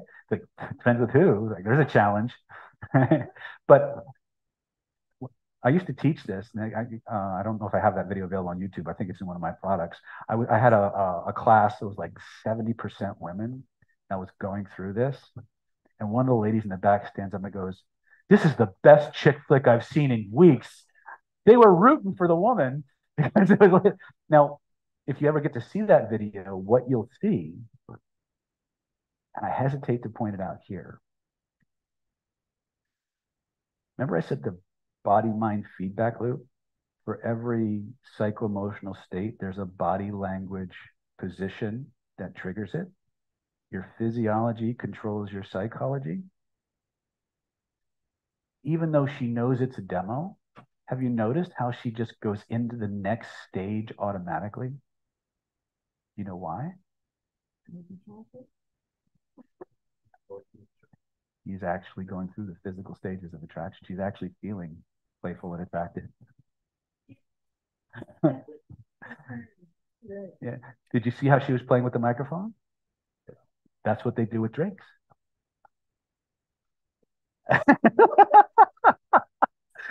I, I, don't I don't normally point that out in a in a, a public show. I, when I when I teach like killer influence or I'm teaching the the actual courses and I'm showing the or attraction man and I'm showing these videos, I actually show you the, the hidden side of what's going on. It's a feedback loop. It literally can't not happen. Right? But you don't need to worry about that. You guys have enough to play with just with the, the, the three magic questions, uh, the echo technique, the state control. The state control is critical. So much of this happens automatically if you can just get your feelings under control. And that's posture and breathing. Okay. And then the I want to do a, I want to do a workshop later on on just how to be funny, right? how to tell jokes and how to right? um, because there's a structure to humor. Right? Some of us can do it in for fun. For fun, yes. fun has a structure. Are you a Virgo? oh God, definitely not. Give her a big round of applause. Thank you. Excellent. So that's the mating dance, right? And again, I, it was the, the abbreviated version, but here's your assignment. Go out and watch humans in their natural habitat. Go to every diner, every cocktail bar or whatever, and chill. Watch people coming in, especially ones on first dates. When I first started teaching this, one of my students, her name was Tammy, she actually owned a wine bar. And when I was talking about the the reaching stages and stuff like that, she went, "Oh my God, you're absolutely right." I, when I when I open the bar, people come in at the beginning of the night and they're on opposite sides of the bar. By the end of the night, their wine glasses are touching. They're all over. They're in each other's laps. Right? It's in front of you all the time. Now, here's what's cool. With the exception of maybe the snuggle space, and even that, a lot of these stages happen in meetings and negotiations too. You'll see people who are on opposite sides of the table, and as they move towards agreement, they start getting closer. If they can't get, they'll start angling in the same direction. They'll start mirroring each other's movements as they move closer and closer to agreement. Or a lot of times you'll see you'll see reciprocal, like one person move forward and the other person will be doing this. They'll be in sync. In the rapport exercises that we teach in Killer Influence, like we literally have what we call rapport wars, where like I have to have a conversation with you, but I have to constantly mismatch your body language while I'm doing it. And it's high comedy for me to watch because the conversation just goes to shit in seconds. Like they have to maintain an actual cohesion while constantly mismatching each other. They can't do it. Then we set it up where they have to actually argue and not give an inch while matching and mirroring each other's body language, and they can't do that. Like they start moving towards compromise. The body plays such a tremendously powerful role in verbal interactions, but it's completely transparent. But if you understand it and are willing to play with it and practice it, you can do all of these invisible things and just guide the entire interaction in the direction you want. And you never have to lie, cheat, steal, or misrepresent. You're just taking advantage of naturally occurring forces that are going to happen anyway. But if you don't take control of them, they happen by random and by default, which means sometimes it works for you and sometimes it doesn't.